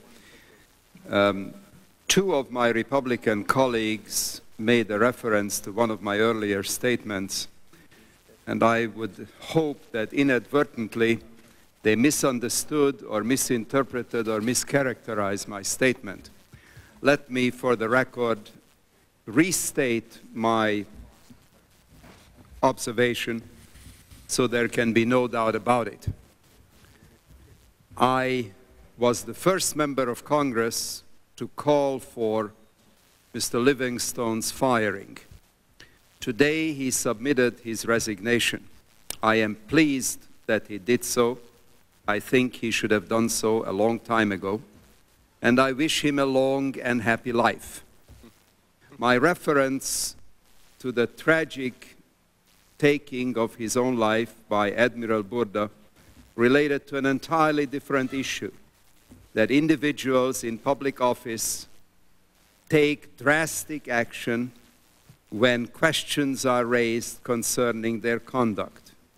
There was obviously not the slightest suggestion that this would be a proper course of action for Mr. Livingstone to follow, and I profoundly resent the absurd interpretation placed on my observation by some of my colleagues. Gentleman's Thank you, time Mr. has Chairman. expired, and I would now, at long last, recognize, no, I've got to recognize that you have a unanimous consent request, that the gentleman will state it. Yes, uh, Mr. Chairman, and I appreciate it because I may have to go to the floor, but uh, I think we've worked out with the minority that, in fact, the, uh, the questionnaire uh, entitled Personnel Data Statement Questionnaire from the Office of the Counsel of the President that Mr. Livingston agreed uh, uh, had his name on it would be the, the entry that we would ask uh, unanimous consent to be part of the record. Mr. Chairman, if I might just just state that that is not a form that I I prepared, uh, that was, that was sent out at request by counsel. We're just getting unanimous consent that the uh, Excuse me. document could be entered into the And record. then, at, at Well, we're reserving the right to- subsequent hearings, uh, I would, would ask further questions, and we'll submit the second revised copy. Reserving the right to object only to point out that I will not object except Mr. Livingstone doesn't agree with your characterization. Let's put it in the record for whatever anybody want, however anybody wants to characterize it. Uh, Gentlemen. And I will not object. Gentleman withdraws his reservation without objection. The document will be made a part of the record, and I would now, uh, pleased at long last, recognize the gentleman from Ohio, Mr. LaTourette, for five minutes. Mr. Chairman, thank you very much, and I, I want to thank my uh, colleagues on the Democratic side of the aisle for summarizing where we've been for the last eight and a half hours so that we're now ready for the new ground that Mr. Ehrlich and I will break in the, uh, in the last 10 minutes of this hearing. One one of the, uh, one of the uh, wonderful things about getting to sit at this part of the dais where you sit where Mr. Ehrlich and I do is that you have plenty of time to, to think about a lot of things. And I, I took the chairman at his word this morning when he said that the, uh, the depositions of you all were now made public, and I've read them in this last eight and a half hours, so I hope I can be a little more precise in my questioning uh, than maybe some of the questions you've heard before, and I promise Mr. Livingston not to ask you who hired you again. Uh, I want to start and take Ms. Meek's uh, comments to heart and say something nice, and, and that is that, uh, uh, Ms. Wetzl, when I began preparing for this hearing, I was, I think, uh, uh, not surprised, but marveled at how quickly you rose from intern to staff assistant to executive assistant, and now your very fine job at the Department of the Army. As I've listened to this hearing and I've read everything else, I, I want to say that I, I think of all of the people that have come before this committee in this whole mess, you are a, a remarkable employee, and but for you, uh, the White House would be in a worse situation than they are today, uh, and that you're taking the bull by the horns in August of whatever it was after Mr. Marceca left uh, is really to your credit, and you deserve a lot of praise, and I, I give you that, and I want you to have that publicly. Uh, and I'm not going to be one of these yes buts that says something nice about you and then slaps you with the back of my hand. I, uh, I do uh, uh, want to uh, bring up uh, something that, that I read that you testified to in your deposition, and that is, we really haven't talked about what happened to these files once they got back into your office. And as I understood your previous testimony and deposition, is that these files were then reviewed for content, whether it be a new hire or a, a an update request from the, the FBI of an old investigation. Uh, I believe you said that Mr. Marceca and Mr. Livingston would read them for content. Is that a correct observation? Right. Um, I'm sorry, you'll have to specify which The investigations we're the- talking about. Well, bo- both. I, I believe in your deposition at page 112, and I don't want to cross-examine you on a deposition, right. but, but the question was, what did they read for content? And it was everything. They- They read not only the, uh, the uh, reinvestigation requests, but also the SF-86s or the, the FBI report when they came in for new hires. Well, you'd have to be more specific about who read it. I'm sorry, sir. I'm, I'm That's trying to be factual, but the previous reports, Mm-hmm. the copies of FBI investigations Right. that we received Right. about previous Right. career people That's fine. that were not, those investigations were not initiated at our request. Right. Those came straight to our office. Right. And to my knowledge, Tony received them. And read them for content. I assume so. Okay. Uh, And was there a t- period of time, or maybe, maybe none of these came in before Mr. Marceca got there, that Mr. Livingston also read them for content? It was my impression that when the previous reports came in, it was either, depending on the time period, either Tony or Craig who read them. However, I can't testify about who read what before Tony, because I wasn't working on the update project at that time. Okay, thank, thank you very much. And Mr. Livingston, that, that, that then brings me to you. In, in your deposition, you made some observations that, in fact, uh, you or Mr. Marceca did, in fact, read these background materials for content.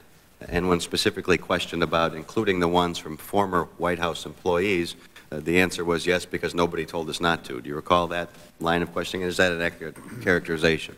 That, that regardless of what the background investigation was, new Clinton hires or old people, they were read for content. Is that right? Or not?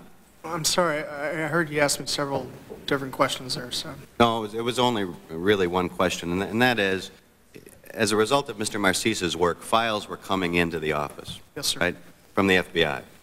Those files were read for content, were they not? Yes, sir. Okay, and they were either read by Mr. Marceca because he was in charge uh, and trusted by you to read them, or, or in some instances you read them. Would that be an accurate statement? Yes, sir. Okay, and, and as I understood, it would be, not be a fair question to ask you, which file did you read, James Baker's file? Because you don't remember, you read thousands of files, right?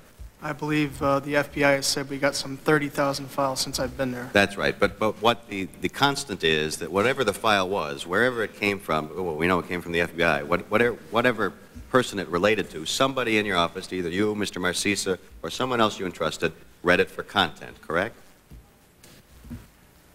Uh, Are you are you just talking about specifically the co- copies of the previous reports, sir? Yes. I'm most interested in those. Um, As I recall, those reports are are specifically just summaries of reports, one or two-page documents. Read for content, however. Yes, sir. The, the purpose of reading these files for content, as I understood your, your deposition, and we didn't get into it today, was specifically to look for derogatory material. And I know you defined that in your deposition as not, nothing heinous, could be a parking ticket, could be a traffic ticket, could be an extramarital affair, could be the use of drugs, could be a lot of things. But the reason that you read these files for content in your office was to highlight or flag derogatory material. Is that a, a fair observation? Why, why files would be read for content? I think uh, a more accurate characterization, sir, as I believe I've testified, would be to check for suitability, and as Mr. Marceca and Ms. Wetzl, I believe, have testified, to see if, uh, what what the date was of their background investigation, see if they were needed to have a reinvestigation conducted. Yeah, with, all due respect, uh, you could flip open to the first page and find out what date the investigation was performed and figure out on a calendar where five years was. So that, that's not reading a file for content. Reading a file for content, to my understanding, and if I'm wrong, please correct me, is reading the file to see what it says, not just checking the date. Am I wrong? I'm sorry, sir, I believe that you asked me what, why we read the files, and I gave you an answer. One was to check for the date of the report, two is to check for suitability concerns. Okay. I, uh, the Latin tempus fugit, time is fleeting, and so I want to move on to you, Mr. Marceca, so you're not ignored in my questioning. Uh, you delivered to the committee, or your lawyer delivered to the committee, these 200-some documents, and, and you have a characterization of them uh, as to what they mean. But I'm holding up this uh, 000134, which you were questioned about earlier in your testimony, and, and it's a analysis of personal background. And, and the question I, I don't want to ask you specific questions about this, just this type of thing. If I understand the way this worked, a report would come in, somebody would read it for content, then did you, Mr. Marceca, prepare an analysis of what you'd read in that file for content, delivering it to Mr. Livingston, your superior? Uh, Is that what this is? You've read somebody's file, and this is your analysis of that file, and you've now reported it in, in writing to your superior, Mr. Livingston? Sort of to my uh, recollection, this specific letter uh, was developed because there was apparently some inconsistencies somewhere between previous reports in his SF, in a person's SF-86. Yeah. This document that you're looking at may pass into the wastebasket when it gets to Mr. Livingston if he finds it, it has no value. So it's just my personal uh, observations, and it may have no merit after it leaves my desk. I'm- I'm not, I'm not asking whether it has merit. As a matter of fact, who put all these black marks all over? it? Did you do that? Yes, sir, I, uh, And, and was that you or your lawyer You did. did that? had- you said lawyer yes, and your lawyer said he did. Your So I lawyer did commented that? on it. And, and I assume that was done to protect someone's privacy, which I think at this late stage of the game is very noble. The, the, my question to you is, regardless of what, what the content of it is, was it your course to review files for content, then to prepare a report about what you thought was important for your boss, Mr. Livingston, to know? Is that, is this pretty typical of what you did? I did it, uh, this is probably a very rare document. I doubt that there's more than one of those because there were not that many problems that I found in people's backgrounds. Okay, I ju- just, I have two of them right here, so I, I guess I got 100% of You think you have two of the same ones, sir? No, I have 132 and 134, the different, different reports, so I, I guess I have, The gentleman's Never mind. time has Thank you, Mr. expired. Chairman. And I would now recognize the gentlelady from the state of Michigan, Ms. Uh, Collins, Mr. Chairman? for five minutes. Okay. I'm sorry, who is- the gentlelady's been recognized. Thank you, Mr. Chairman. Mr. Chairman, um, I'm, I'm not going to ask any questions because I think everything's been asked two and three and four and five times, and the answers are the same. It's being very redundant. I, I do want to say, however, that I'm very disappointed that this committee is taking this kind of time to rake people over the coals when we know from testimony that we've heard that there was no political purpose behind the files, that it was uh, egregious error that was made. No one is denying that it was an error made, but to impugn people's integrity and their character for something such as this seems to me to be more of the same type of witch hunting that we had both with the travel office and with the um, Whitewater. And I would just hope that this Congress could get on with the business of running the country and leave some of the partisan bickering aside. Would At the this- general yield, lady, Would the would the gentleman general yield to me yield? for Um, questions? At first, I'm going to yield to Mr. Kanjorski, and then I'll yield to Mr. Weiss. Thank you very much. Uh, I came into this hearing today not knowing what the facts were.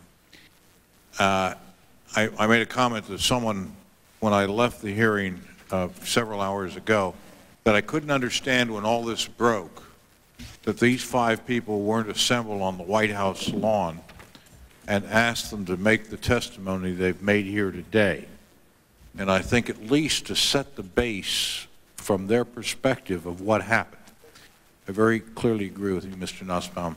The chairman would not have maligned you, and in fact, he did, in, in my estimation. And he does owe you an apology for it. As a member of the bar, he owes you an apology. He knows better. I believe the young lady's testimony today uh, is very credible as to what happened. Understandable, or, or that's the way the system should be. Uh, should it be uh, uh, improved? Clearly, I think uh, Mrs. Meek of Florida has said. We could clearly write a better statute order, if nothing else, a, a book of management, what should be done. I'm at a loss on Mr. Livingston because, quite frankly, Mr. Livingston, I was very harsh on you. I think that I, I, I'm probably feeling more disposed and sympathy to you today than I was two weeks ago. I probably, like the President, if you were in my presence when all this happened, I could have gone to violence because I, I felt it has been violent to this administration and to the American people. Uh, to, to my friend from Pennsylvania that's testifying there, uh, it, it, you're there because we play games in the federal government in not giving proper staff capacity, not only to the White House, but to many other agencies of this country. And it was funny that everybody's talking about these interns running around with all this information when every one of us have interns working in our office that have all kinds of uh, uh, access to very important information. And I was one of those interns some 43 years ago with my friend that just recently passed away, Bill Emerson, where we worked with the uh, Army McCarthy hearings and carried some of the most vital information without any clearance or without any FBI agents or anything else. That's been the habit on this Hill for a long time. And most often, 99.99999, we can rely on these good people that do work here. Every now and then you get someone you can't rely on. Uh, Mr. Kennedy, you've paid a price in your legal profession you don't even want to think about. And I know, and it's unfortunate, but I think with Mr. Lessman's uh, respect for your integrity, I, I join that. Does that excuse what happened? Hell no. I can't believe this happened. I really can't believe this happened. I, I, you know what offends me most of all? You know why it happened and what we really should be examining? You know what's sick about this town? The White House keeps those records and sends them on to their archives to protect history because they can't trust the FBI, they can't trust the Secret Service, they can't trust any, any executive agency of this government or the Congress to keep the facts right. And that's why everybody dovetails everybody else and everybody wants to get something in paper and in writing so that later on the revisionist can't stick the wrong people for the wrong thing. And we had one president that got carried away so much, put a damn tape recorder in his office and made history back in 1974 by, by getting the evidence to remove him from office. It is what Mr. uh, Foster wrote about. It is what Mr. Nussbaum mentioned. We're eating these people alive for political purposes today. And we ought to be smart and do that. Did they do something wrong? They were stupid, no question about it. Probably the best evidence of incompetence. Did they do something beyond that? Nothing that I've heard today. They may have, and we should uh, uh, carry that out. But you know the Attorney General of the United States doesn't have the faith in the FBI or its own department to examine this. They had to send it off to a special prosecutor. Today we have new departments in the United States government. You can't trust anybody who works for the United States government. You've got to get out and get new prosecutors, always new prosecutors. We even have that in the Congress of the United States. We have an ethics committee, can't examine the speaker. Unfortunately, they haven't thought of the idea, maybe, maybe they should get a special counsel too. Maybe the Justice Department should appoint a special counsel to examine the speaker. And someday up here, we're going to have 45,000 people walking behind each other because 44,999 are checking out the one they're following. And, and that's what we're coming down to. Now, if there's seriousness here, we've started with a base. The testimony we've heard today is substantial testimony that people have put themselves on record subject to perjury. My challenge to the other side of the committee, rather than making press releases and conferences and further maligning these people's reputations, is to go out and get honest-to-God facts under oath and prove these people have lied today. If not, have the guts to apologize to them. Don't have the guts to be a MacArthur.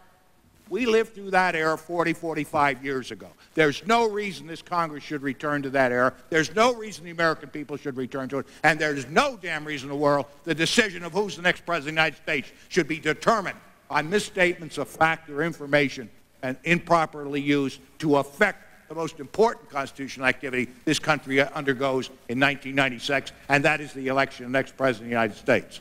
So let's go ahead. I challenge you, Mr. Chairman. I challenge all those young Republicans over there that want to get into it. You get into the fray. Go out and get the factual information, and I'll join you to urge the prosecution of these people if they lied. But if they didn't, have the good common sense to apologize to them and the American people that you've made a mistake and not by innuendo and inference to carry this nonsense on any further. I yield back the balance of my time. I yield to Mr. Weiss. Ms. Wetzl, uh, talking about lists for a second, uh, you testified that you destroyed a list, as you did others, that Mr. Marceca had been using. The question is whether this was the same paper and format as a, uh, other Secret Service lists that you'd been using. First, let me make something clear. I don't know if that was the list Mr. Marceca was using. Gentleman's time has Well, expired. could you, Mr., I'd ask you, Mr. since you could just finish that, the second part of our explanation, I, we're, we're going at facts, and I think she's However, being the- forthright. The lists that we used, that the office used, and the list that I destroyed, along with other lists that I destroyed, were from the Secret Service. Was that your Yes, that's question? fine. Thank you.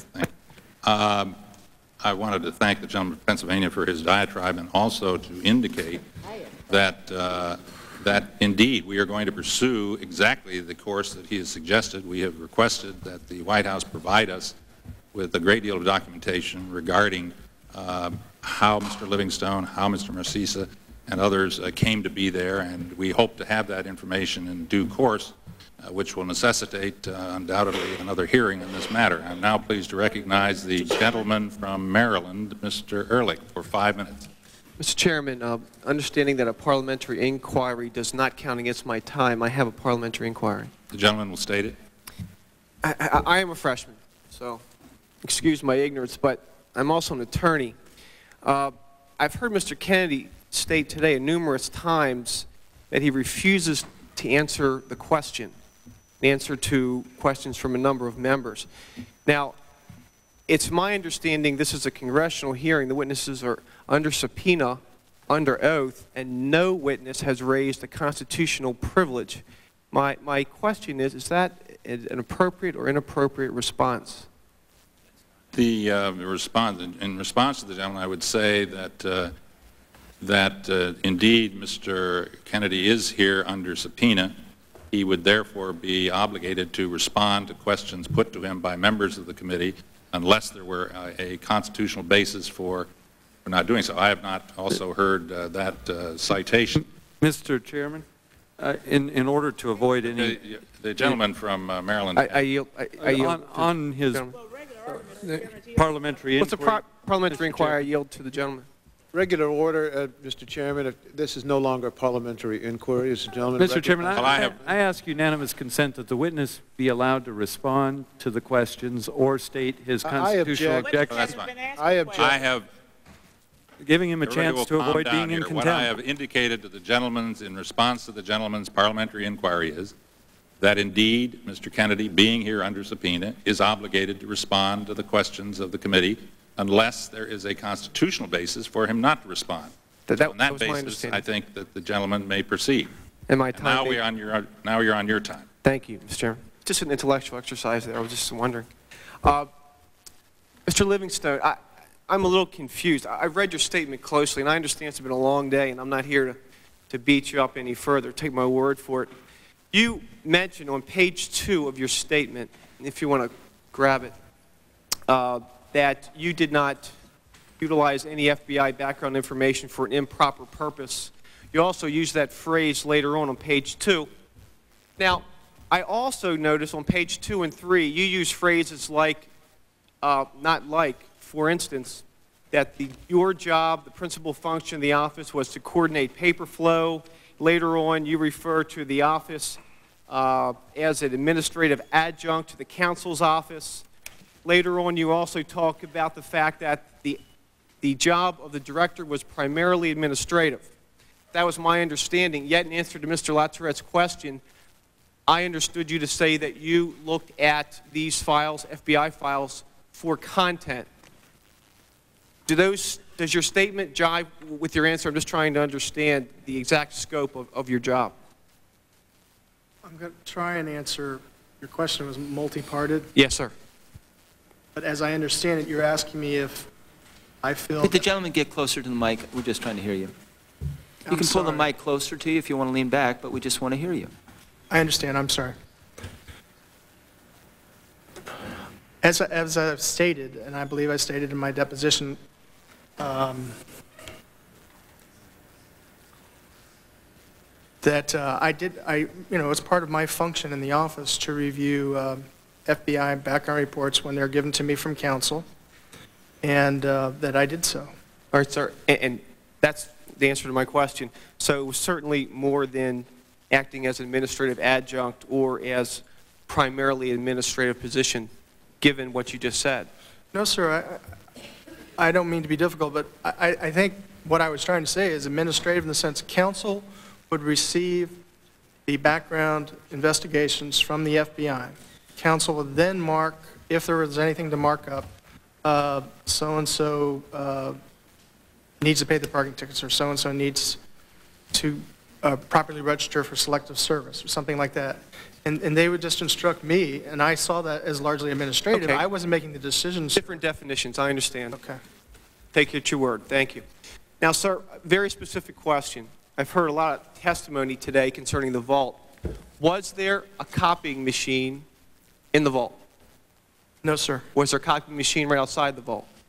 There's a copy machine in the office, sir. Now, sir, at my law firm, a few years ago, we took to the practice of having to literally input numbers, file numbers, with respect to the, the case that you were working on at the time if you had to have a copy made. Did you have a similar process in your office? Uh, Sir, we followed, uh, the office procedures that we followed in our office were consistent with office procedures. Okay, that, that's not my question. My question is, if someone made a copy on that copy machine, would there be a record of that copy produced anywhere? I'm sorry, sir, I was trying to answer your question. Okay. Uh, As far as I know for copying, uh, previous administration did not require that, and we did not require it either. Uh, That, that's not my question. I'm talking about in this administration. Was there a record produced by anyone, by the machine itself, if a copy was made on the copier? I'm sorry, I thought I just said no. Okay, Thank you. Was there any way that copies were at all subject to being logged in? In other words, was there any way you could quantify who made copies or what copies were made of what particular documents? No, sir. Sir, given your position as an administrative adjunct, and I understand we had a different uh, definition with respect to the term administrative, you would never have opportunity to speak to the President of the United States, would you? Are you asking me specifically, did I talk to the President of the United States? Yes, sir. About my job in White House personnel security? My first question is, did you have opportunity to speak to the President of the United States generally at any time? Generally at any time? Yes, sir. Sir? Generally at any time? No. Yes, sir. N- No? If generally, I- Did you at I any time during the term you were at the White House, did you ever have occasion to speak to the President? other than um, the presser to the left, sir, or Governor so-and-so is uh, in the next room doing advan, if I worked on advance or helped out on an event at the White House. I don't believe that I've ever had a conversation with the President about my job. Thank you, sir. Now, did you have occasion to remove Billy Dale's FBI background file on June 6, 1996, for some reason? I don't recall a specific date that, uh, but, but counsel had asked for um, Mr. Dale's file at some point, and I understood it to be in response to uh, either a committee request or an independent counsel request.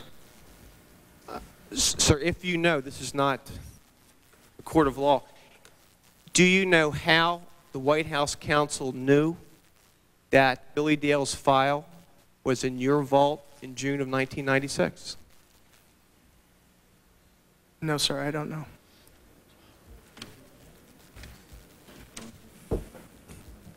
Sir, did you, I understand you can't remember a specific date, but is it your recollection that at some point in June of 1996, you removed Billy Dale's FBI file from the vault in answer to a request from the White House counsel? I don't know that it came from the vaults or record ma- records management. Oh, All right, sir. You have no recollection? No, sir. To be specific, I didn't personally uh, go and get his file, if that's what you're asking me. Do you have personal knowledge that the file was removed during June of 1996? I don't recall, I mean, you- you- say removed, I want to be specific. The only reason we would get the file is if counsel had asked us to retrieve the file. Sir, do you have personal knowledge that a request was made of your office during June of 1996 that either you or someone from your office remove Mr. Dale's file, file and send it along to the White House counsel? I don't uh, recall anyone asking me to retrieve the file, but uh, as we've testified today, there is a f- a file log that would reflect that, if in fact that were true. Would the gentleman yield? I will. Uh, Mr. Livingston, since 1993, have you ever had a telephone conversation with the President of the United States? No, I can't imagine so. I don't have any recollection of ever talking to the president on the phone. On the phone? Did, you said you did not talk to him about your job. Did you talk to him about the update project or any of the people listed on the list that has made, been made available for the update project? Uh, as I said, I, I am confident that the President of the United States has never asked me anything about No, the question is, did you talk to him about it? Well, I'm trying to be specific. I- The President hasn't talked to me, and nor have I talked to the President, I'm sorry if that's what you're asking me, nor have I talked to the President about uh, any, anything, even in a general nature about my job. No, no, Gentleman's uh, about has the update project or any of the people on the list? Specifically, as I said, anything I- I- would include to me the update project. Gentleman's time has Or expired. the people on the list? I would now recognize the gentleman from New Hampshire. Let the record show the gentleman answered no. Mr. Chairman, can I, I'll yield to, Mr. Clinger, The uh, thank you, Mr. Chairman, I'll yield uh, uh, from New Hampshire. momentarily to Mr. McIntosh. Mr. Livingston, do you agree with that, that the answer is no, you did not talk to the President, the President did not talk to you about any of the people on the list in the update project? That's correct. I had one other question for Mr. Kennedy. Uh, Would you like to, at this point, answer the question of whether you approved hiring of Mr. Livingston after knowledge that he may have used drugs?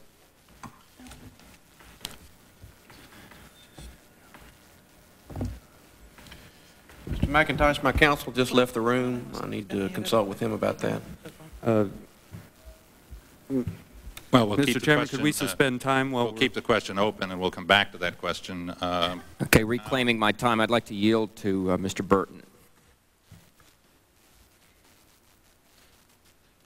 I don't see how anybody can consider this just a stupid mistake.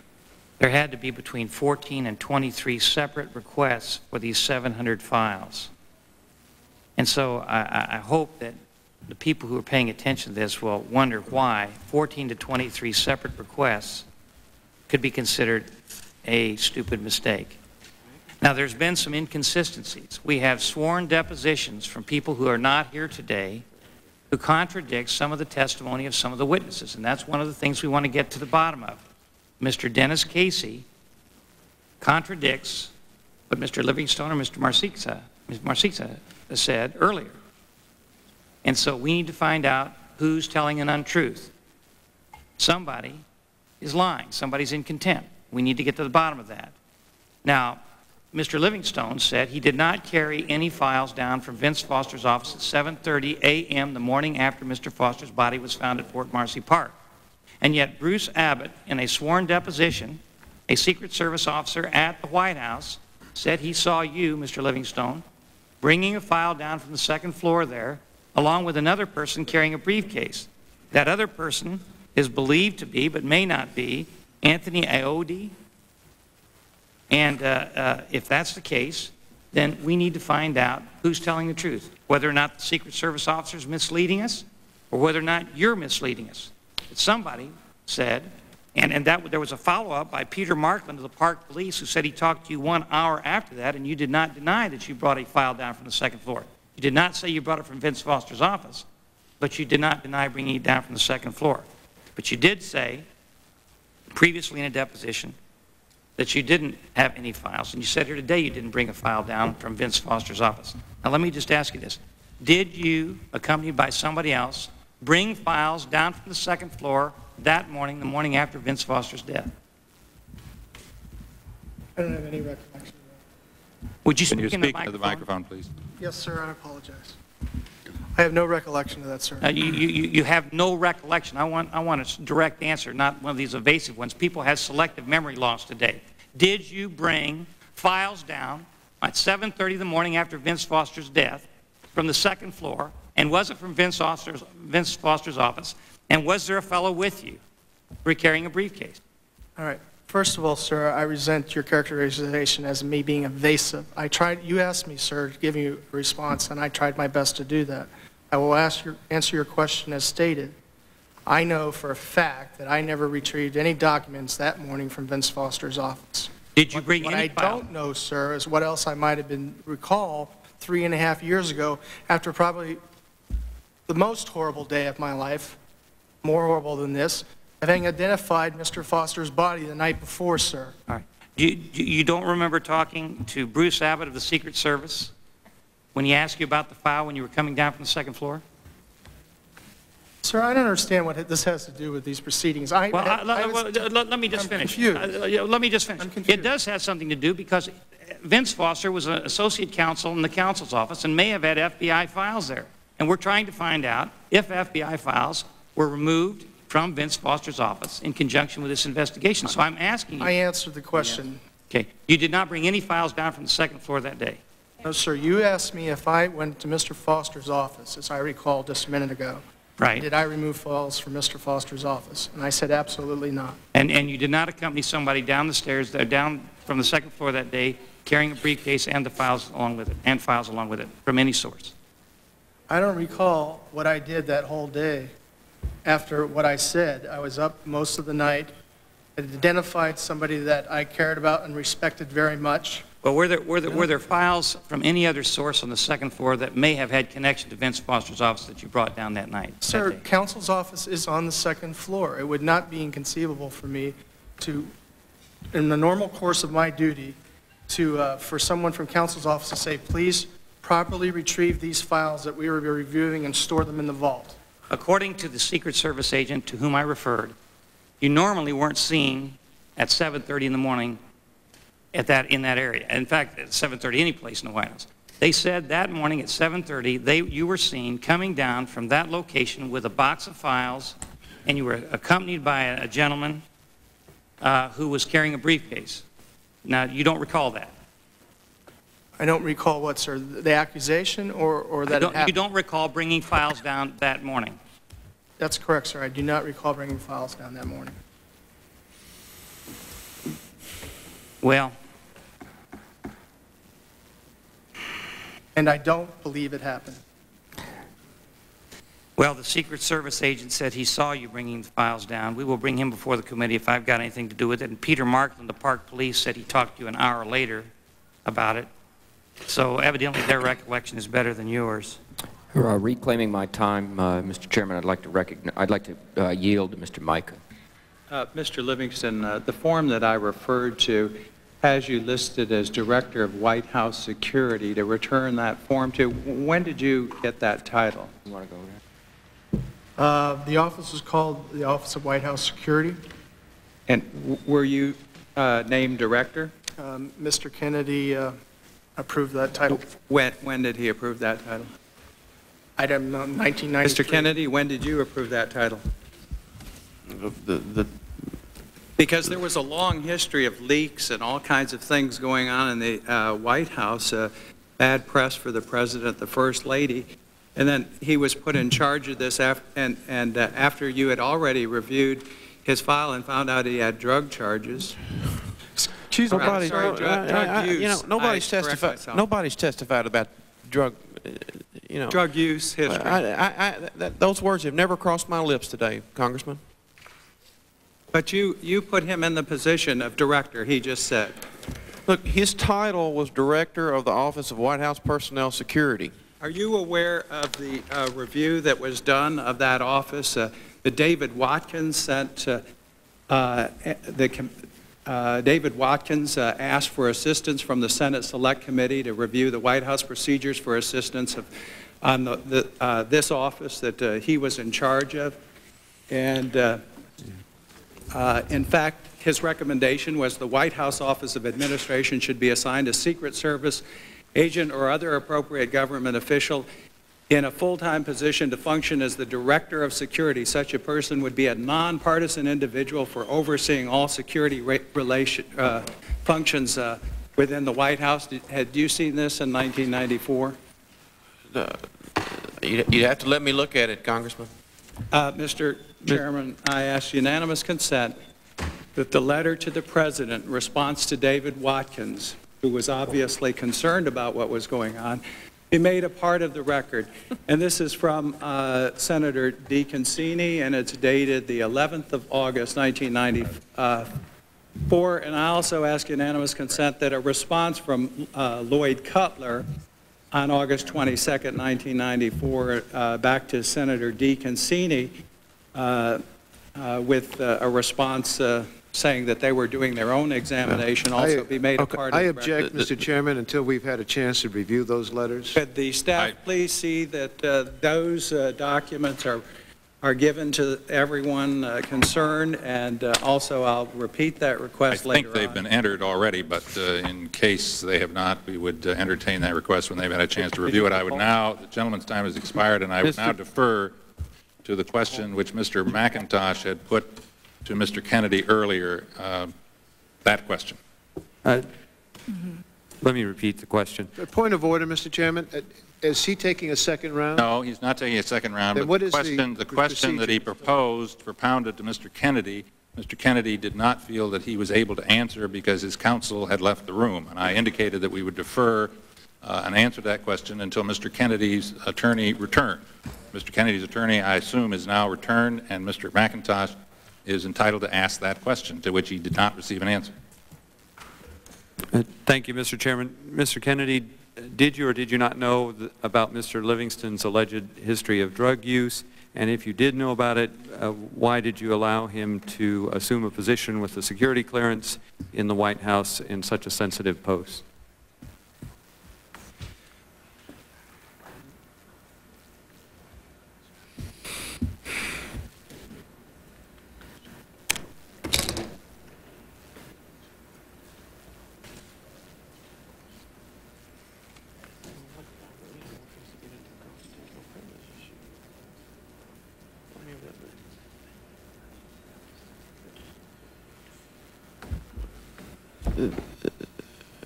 Mr. Chairman, um, I'm going to address you instead of the congressman. You know, my reluctance to answer these questions stems from two areas, one of which is the fact that I believe the Privacy Act governs this, and I'm, I'm, I think I'm being asked You're being asked about a question that Mr. Livingstone has already indicated that he, in fact, had engaged in recreational use of drugs. So I think that the uh, raising the Privacy Act as a, as a reason for not answering is uh, not appropriate.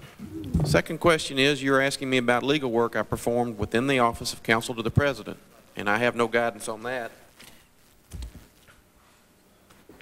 Mr. Kennedy, I would remind you that you are under subpoena before this committee.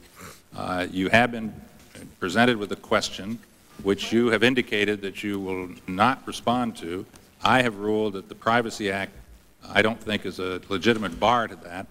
I would, I would, Chairman? I would urge you to answer the question because you potentially could be in contempt of this committee. Mr. Chairman, if Uh, I might I'm- be recognized uh, on this issue, it seems to me if you're going to ask a witness to, to uh, violate the statute of the Privacy Act, it ought to be on an executive session. It ought not to be sprung on a witness at this moment. May And I- I- And on behalf of our side and some of your Uh, members... Mr. Chairman, let me, let me point out that Uh, this was the if the fifth gentleman time this would, uh, question's permit, been I'm asked today. Making a point.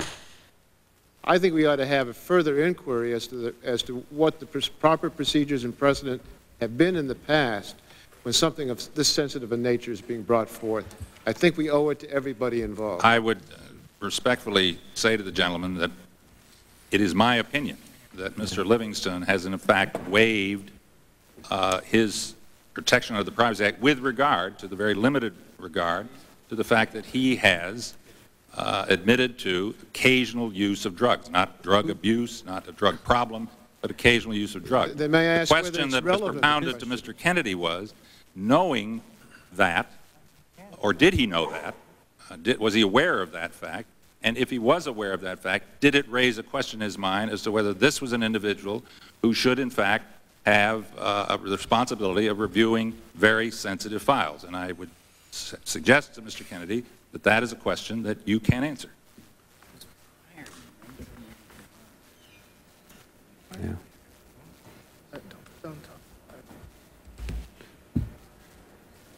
Mr. Chairman, I'll point out for the record, this is the sixth time now that you've asked it that this question has been asked today.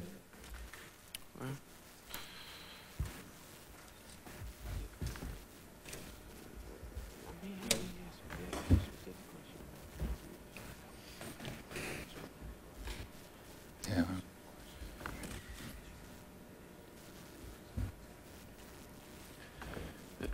Mr. Chairman, um,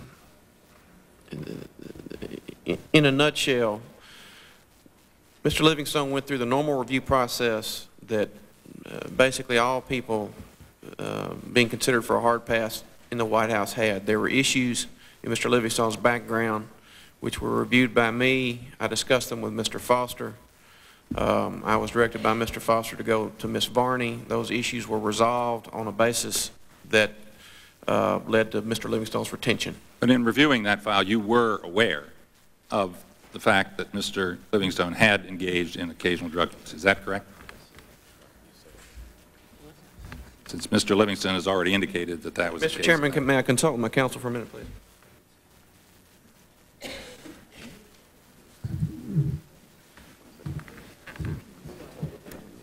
Point of order, Mr. Chairman. Gentleman will state it. I'd like to inquire of the chair his understanding of the rules and this particular privacy statute, whether he can require witnesses to disclose to us anything that's in anybody else's file that he has seen. Because as I understand the chairman's ruling, we would then be permitted on our time to ask him about anybody else's file, to disclose anybody information about No, them that's That private. is not correct. Uh, I will tell the gentleman that in this instance, the ruling was based on the fact that Mr. Livingstone has testified uh, in this hearing uh, to occasional drug use, and that, to my mind, would not open Well, up Mr. Pandora's Well, Mr. box. Well, Mr. Chairman, he has, he has testified, your question to him was whether they- that was a disqualification Chairman. in his mind. Mr. Chairman, that question was not The gentleman must state- volunteered by the witness in his May, deposition. the man, the gentleman will state who he is. Randall Turk, counsel for Mr. Livingstone, and the suggestion that Mr. Livingstone Mr. Turk, if you were given- going to testify at this hearing, I will have to ask you to go under oath to do so. Uh, Mr. Chairman, I do not wish to testify. I simply wish to Well, make... then- Regular order, Mr. statement. And I think your statement is, uh, is not appropriate. I wish to That's make fine. a statement for the record that Mr. Livingstone's I'm sorry, I cannot permit you to make that statement unless you're going to be under oath. privacy rights. Point of order, Mr. Chairman. Would this witness, in answering your question, violate the statute, the privacy statute uh, law? And are you in- uh, insisting that he violate a law in order to give you some irrelevant bit of information? Is that, is that where we are, Mr. Chairman? Where we are is that I have indicated that because of Mr. Livingston's admission, I guess, that uh, there was in fact some drug use, that that therefore would represent a waiver of rights under the Privacy Act with regard to that very, very specific question. Now, if Mr. Kennedy does not choose to answer that question, we will take under advisement whether or not that constitutes contempt, and at the next hearing on this matter, we will consider that. Uh, You know, I'm not, uh, I don't mean to uh, pose any threats here, but I do say that I think I've indicated uh, that my ruling, subject to being reversed at some stage of the game, but my ruling is that the witness must answer the question. Mr. Chairman, I will seek to appeal your ruling to the parliamentarian because I You cannot have every right to do that. I not- cannot believe that you can insist that a witness violate the law and give us confidential In my view, we're not violating the law, and I would now ask That's Mr. your view, but I would want a higher opinion than yours. I have asked Mr. I Kennedy. if- appeal the decision of the chair. Mr. Chairman, parliamentary inquiry. I demand a Gentleman will state it. Uh, i- If there's so much concern about the privacy and and this question being answered in private, the the the chair could be requested to go into executive session by any member. I Is that appeal not the correct? deci- Is Mr. that Chair, point of order. I appeal the decision of the chair. Let's have a vote on it. Uh, uh, Would you answer my parliamentary inquiry? Is that not correct? That is correct. Mr. Chairman, just a point of in- in parliamentary inquiry. Mr. Chairman, there is no debate on an appeal of the decision of the chair. I insist on a vote. Is there a parliamentary inquiry? Can you ask it? The uh, clerk will call the roll. Mr. Clinger? Mr. Chairman, I suggest the absence of a quorum. Mr. Chairman, uh, point of order, is not a vote in progress? You're appealing the ruling of the chair.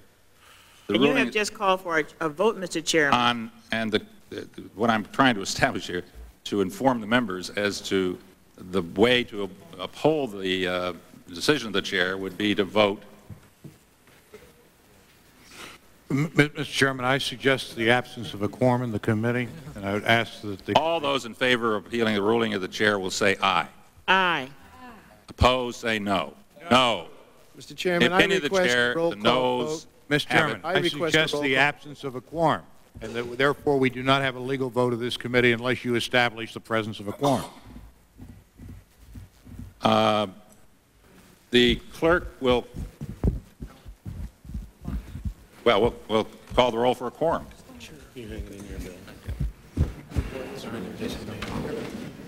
Mr. Clinger? Here. Mr. Gilman? Start calling members. Mr. Burton? Here. Mr. Hastert? Are we? Mrs. Morella?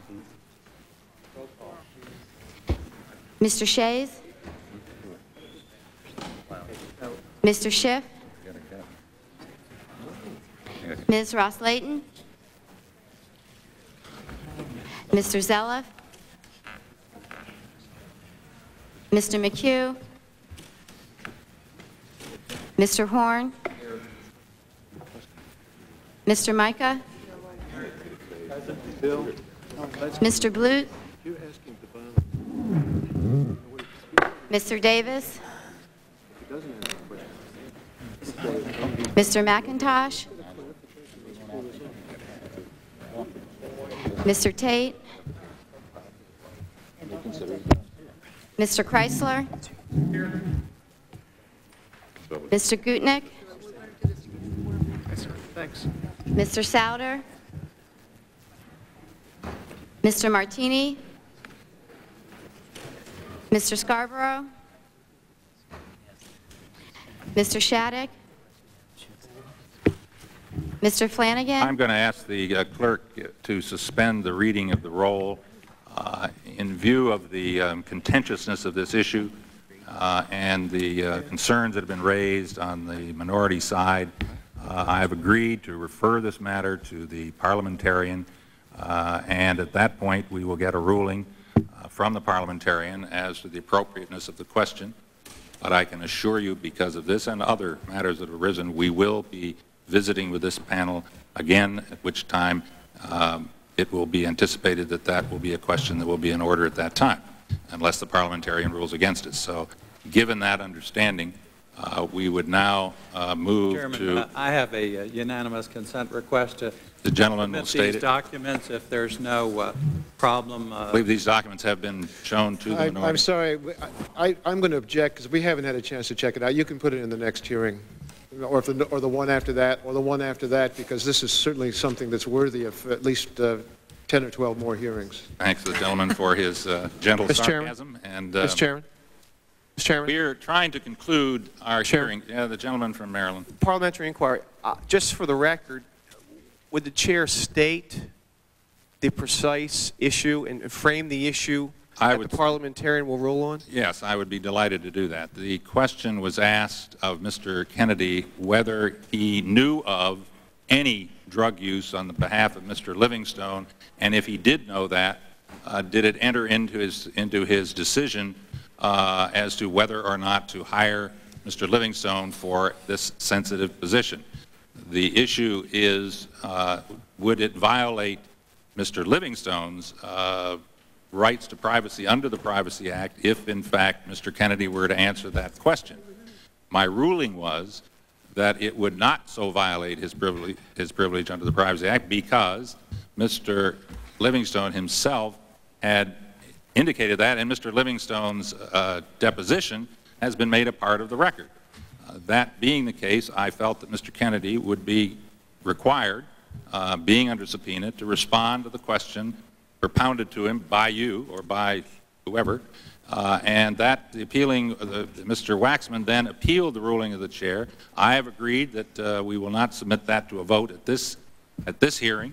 We will confer with the parliamentarian as to his ruling, and we will revisit this issue at the next hearing. Mr. Chairman, I, I think the further question is, and we want to get uh, the parliamentarians' views, is whether Mr. Kennedy can waive the privacy of other people in the records to which he has had. uh, Indeed. uh, We will uh, confer with Mr. Waxman and with others to uh, propound the uh, questions that need to be propounded in order Mr. to resolve this issue. And I'm now going to call upon the gentlelady Mr. Chairman, from Illinois. Parliamentary inquiry, because if you're, if you're going to create a record, I want to be part of it, because I have a consideration to add, uh, namely whether or not Mr. Livingston waived his parliament, waived his rights in that deposition to That the is Privacy not a parliamentary inquiry. Well, is it, well, then it's a question to the chair whether you intend to in, in, include that consideration. I will, we will confer with the members of the minority as to the questions to be propounded to the parliamentarian. I now recognize the gentlelady from Illinois for a brief, brief closing statement. Thank you, Mr. Chairman. At the outset, of this hearing, I stated that I agree with the purpose of these hearings to find out with respect to FBI files what happened, how it happened, and why it happened. I would have to give this hearing a mixed grade because while we learned a good deal about the files, we also spent about half the time confronting witnesses with unfounded rumors and smears that ashame me greatly. Rather than dwell on the low points, let me just summarize the main points of the sworn testimony. The update project initiated by Ms. Nancy Gemmell was a routine effort in which administration utilizing Secret Service lists to provide names of those requiring access. Ms. Wetzl and Mr. Marceca both used a Secret Service list. Ms. Wetzl and Ms. Livingst- Mr. Livingstone both testified that Secret Service lists were routinely outdated. And most importantly, all witnesses testified under oath that no one ordered them to collect files on former employees. They did not know the files requested were on employees no longer working at the White House, and that they never disseminated the information in any uh, improper manner. You know, Mr. Chairman, we, we've talked about the Secret Service a great deal here, and I would, uh, you mentioned that you're going to have another hearing and these witnesses come before us. I hope that we'll also depose the Secret Service or whoever is in the Secret Service that uh, created these files, and also that we have the Secret Service uh, come and testify before us at the next hearing, and yield back the balance of my time, and thank you for holding these hearings. Thank you, the gentlelady. I would just uh, state in, in closing that the, uh, to the panel, the good news is there's not going to be another round of questions. We would be here till 2 in the morning if we were going to have that, but the the uh, bad news is that we will be holding another hearing on this matter. We have additional questions asked, and as a result of some of the issues that have been raised here, we will have to revisit some of these matters. We have uh, requested information from the White House in response to a letter that was sent last Friday. We hope to have that information by the time we reconvene. Today we did hear testimony from all of our witnesses that demonstrated, I think, it can only charitably be said, an amazing lack of sensitivity and respect for people's privacy that, I think, has been agreed to on all sides. There was a massive invasion of privacy, which was committed by this administration, and it's uh, unprecedented action that I think all have and should condemn in the strongest terms. That is uh, agreed to, I think, in a bipartisan way. But I think it's important to remember that we've heard about the victimization of some of the members of the panel, but uh, this all began with the victimization of Mr. Dale and others who were falsely accused of wrongdoing with regard to the travel gate. I think Mr. Livingston was correct to resign.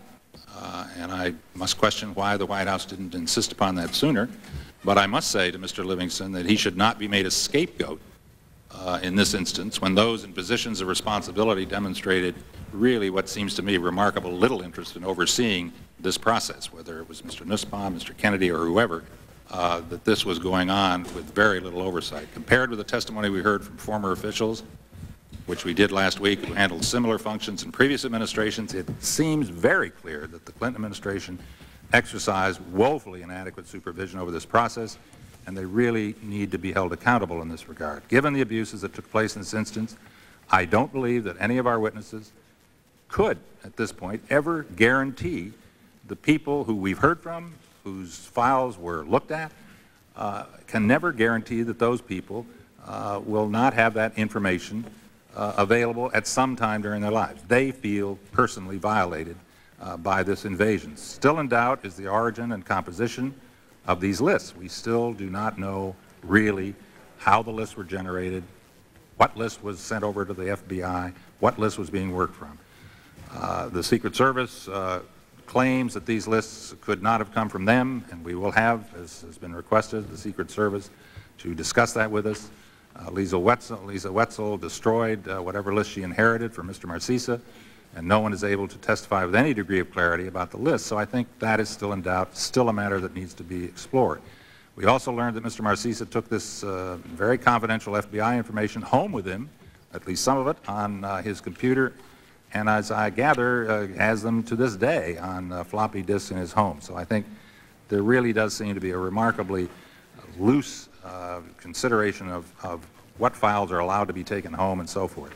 So we still don't know if confidential IRS information was contained in these improperly contained files. I would ask unanimous consent to the letter which I've shown to the majority dated June 21st from Mr. Archer uh, inquiring about this issue of tax information uh, be admitted to the files. Without objection, it will be so entered. Uh, the FBI and the Independent Counsel are currently investigating this matter and this committee will continue to make its own inquiries. I again thank the panel for your patience. I thank the members for attending, uh, and this hearing is adjourned.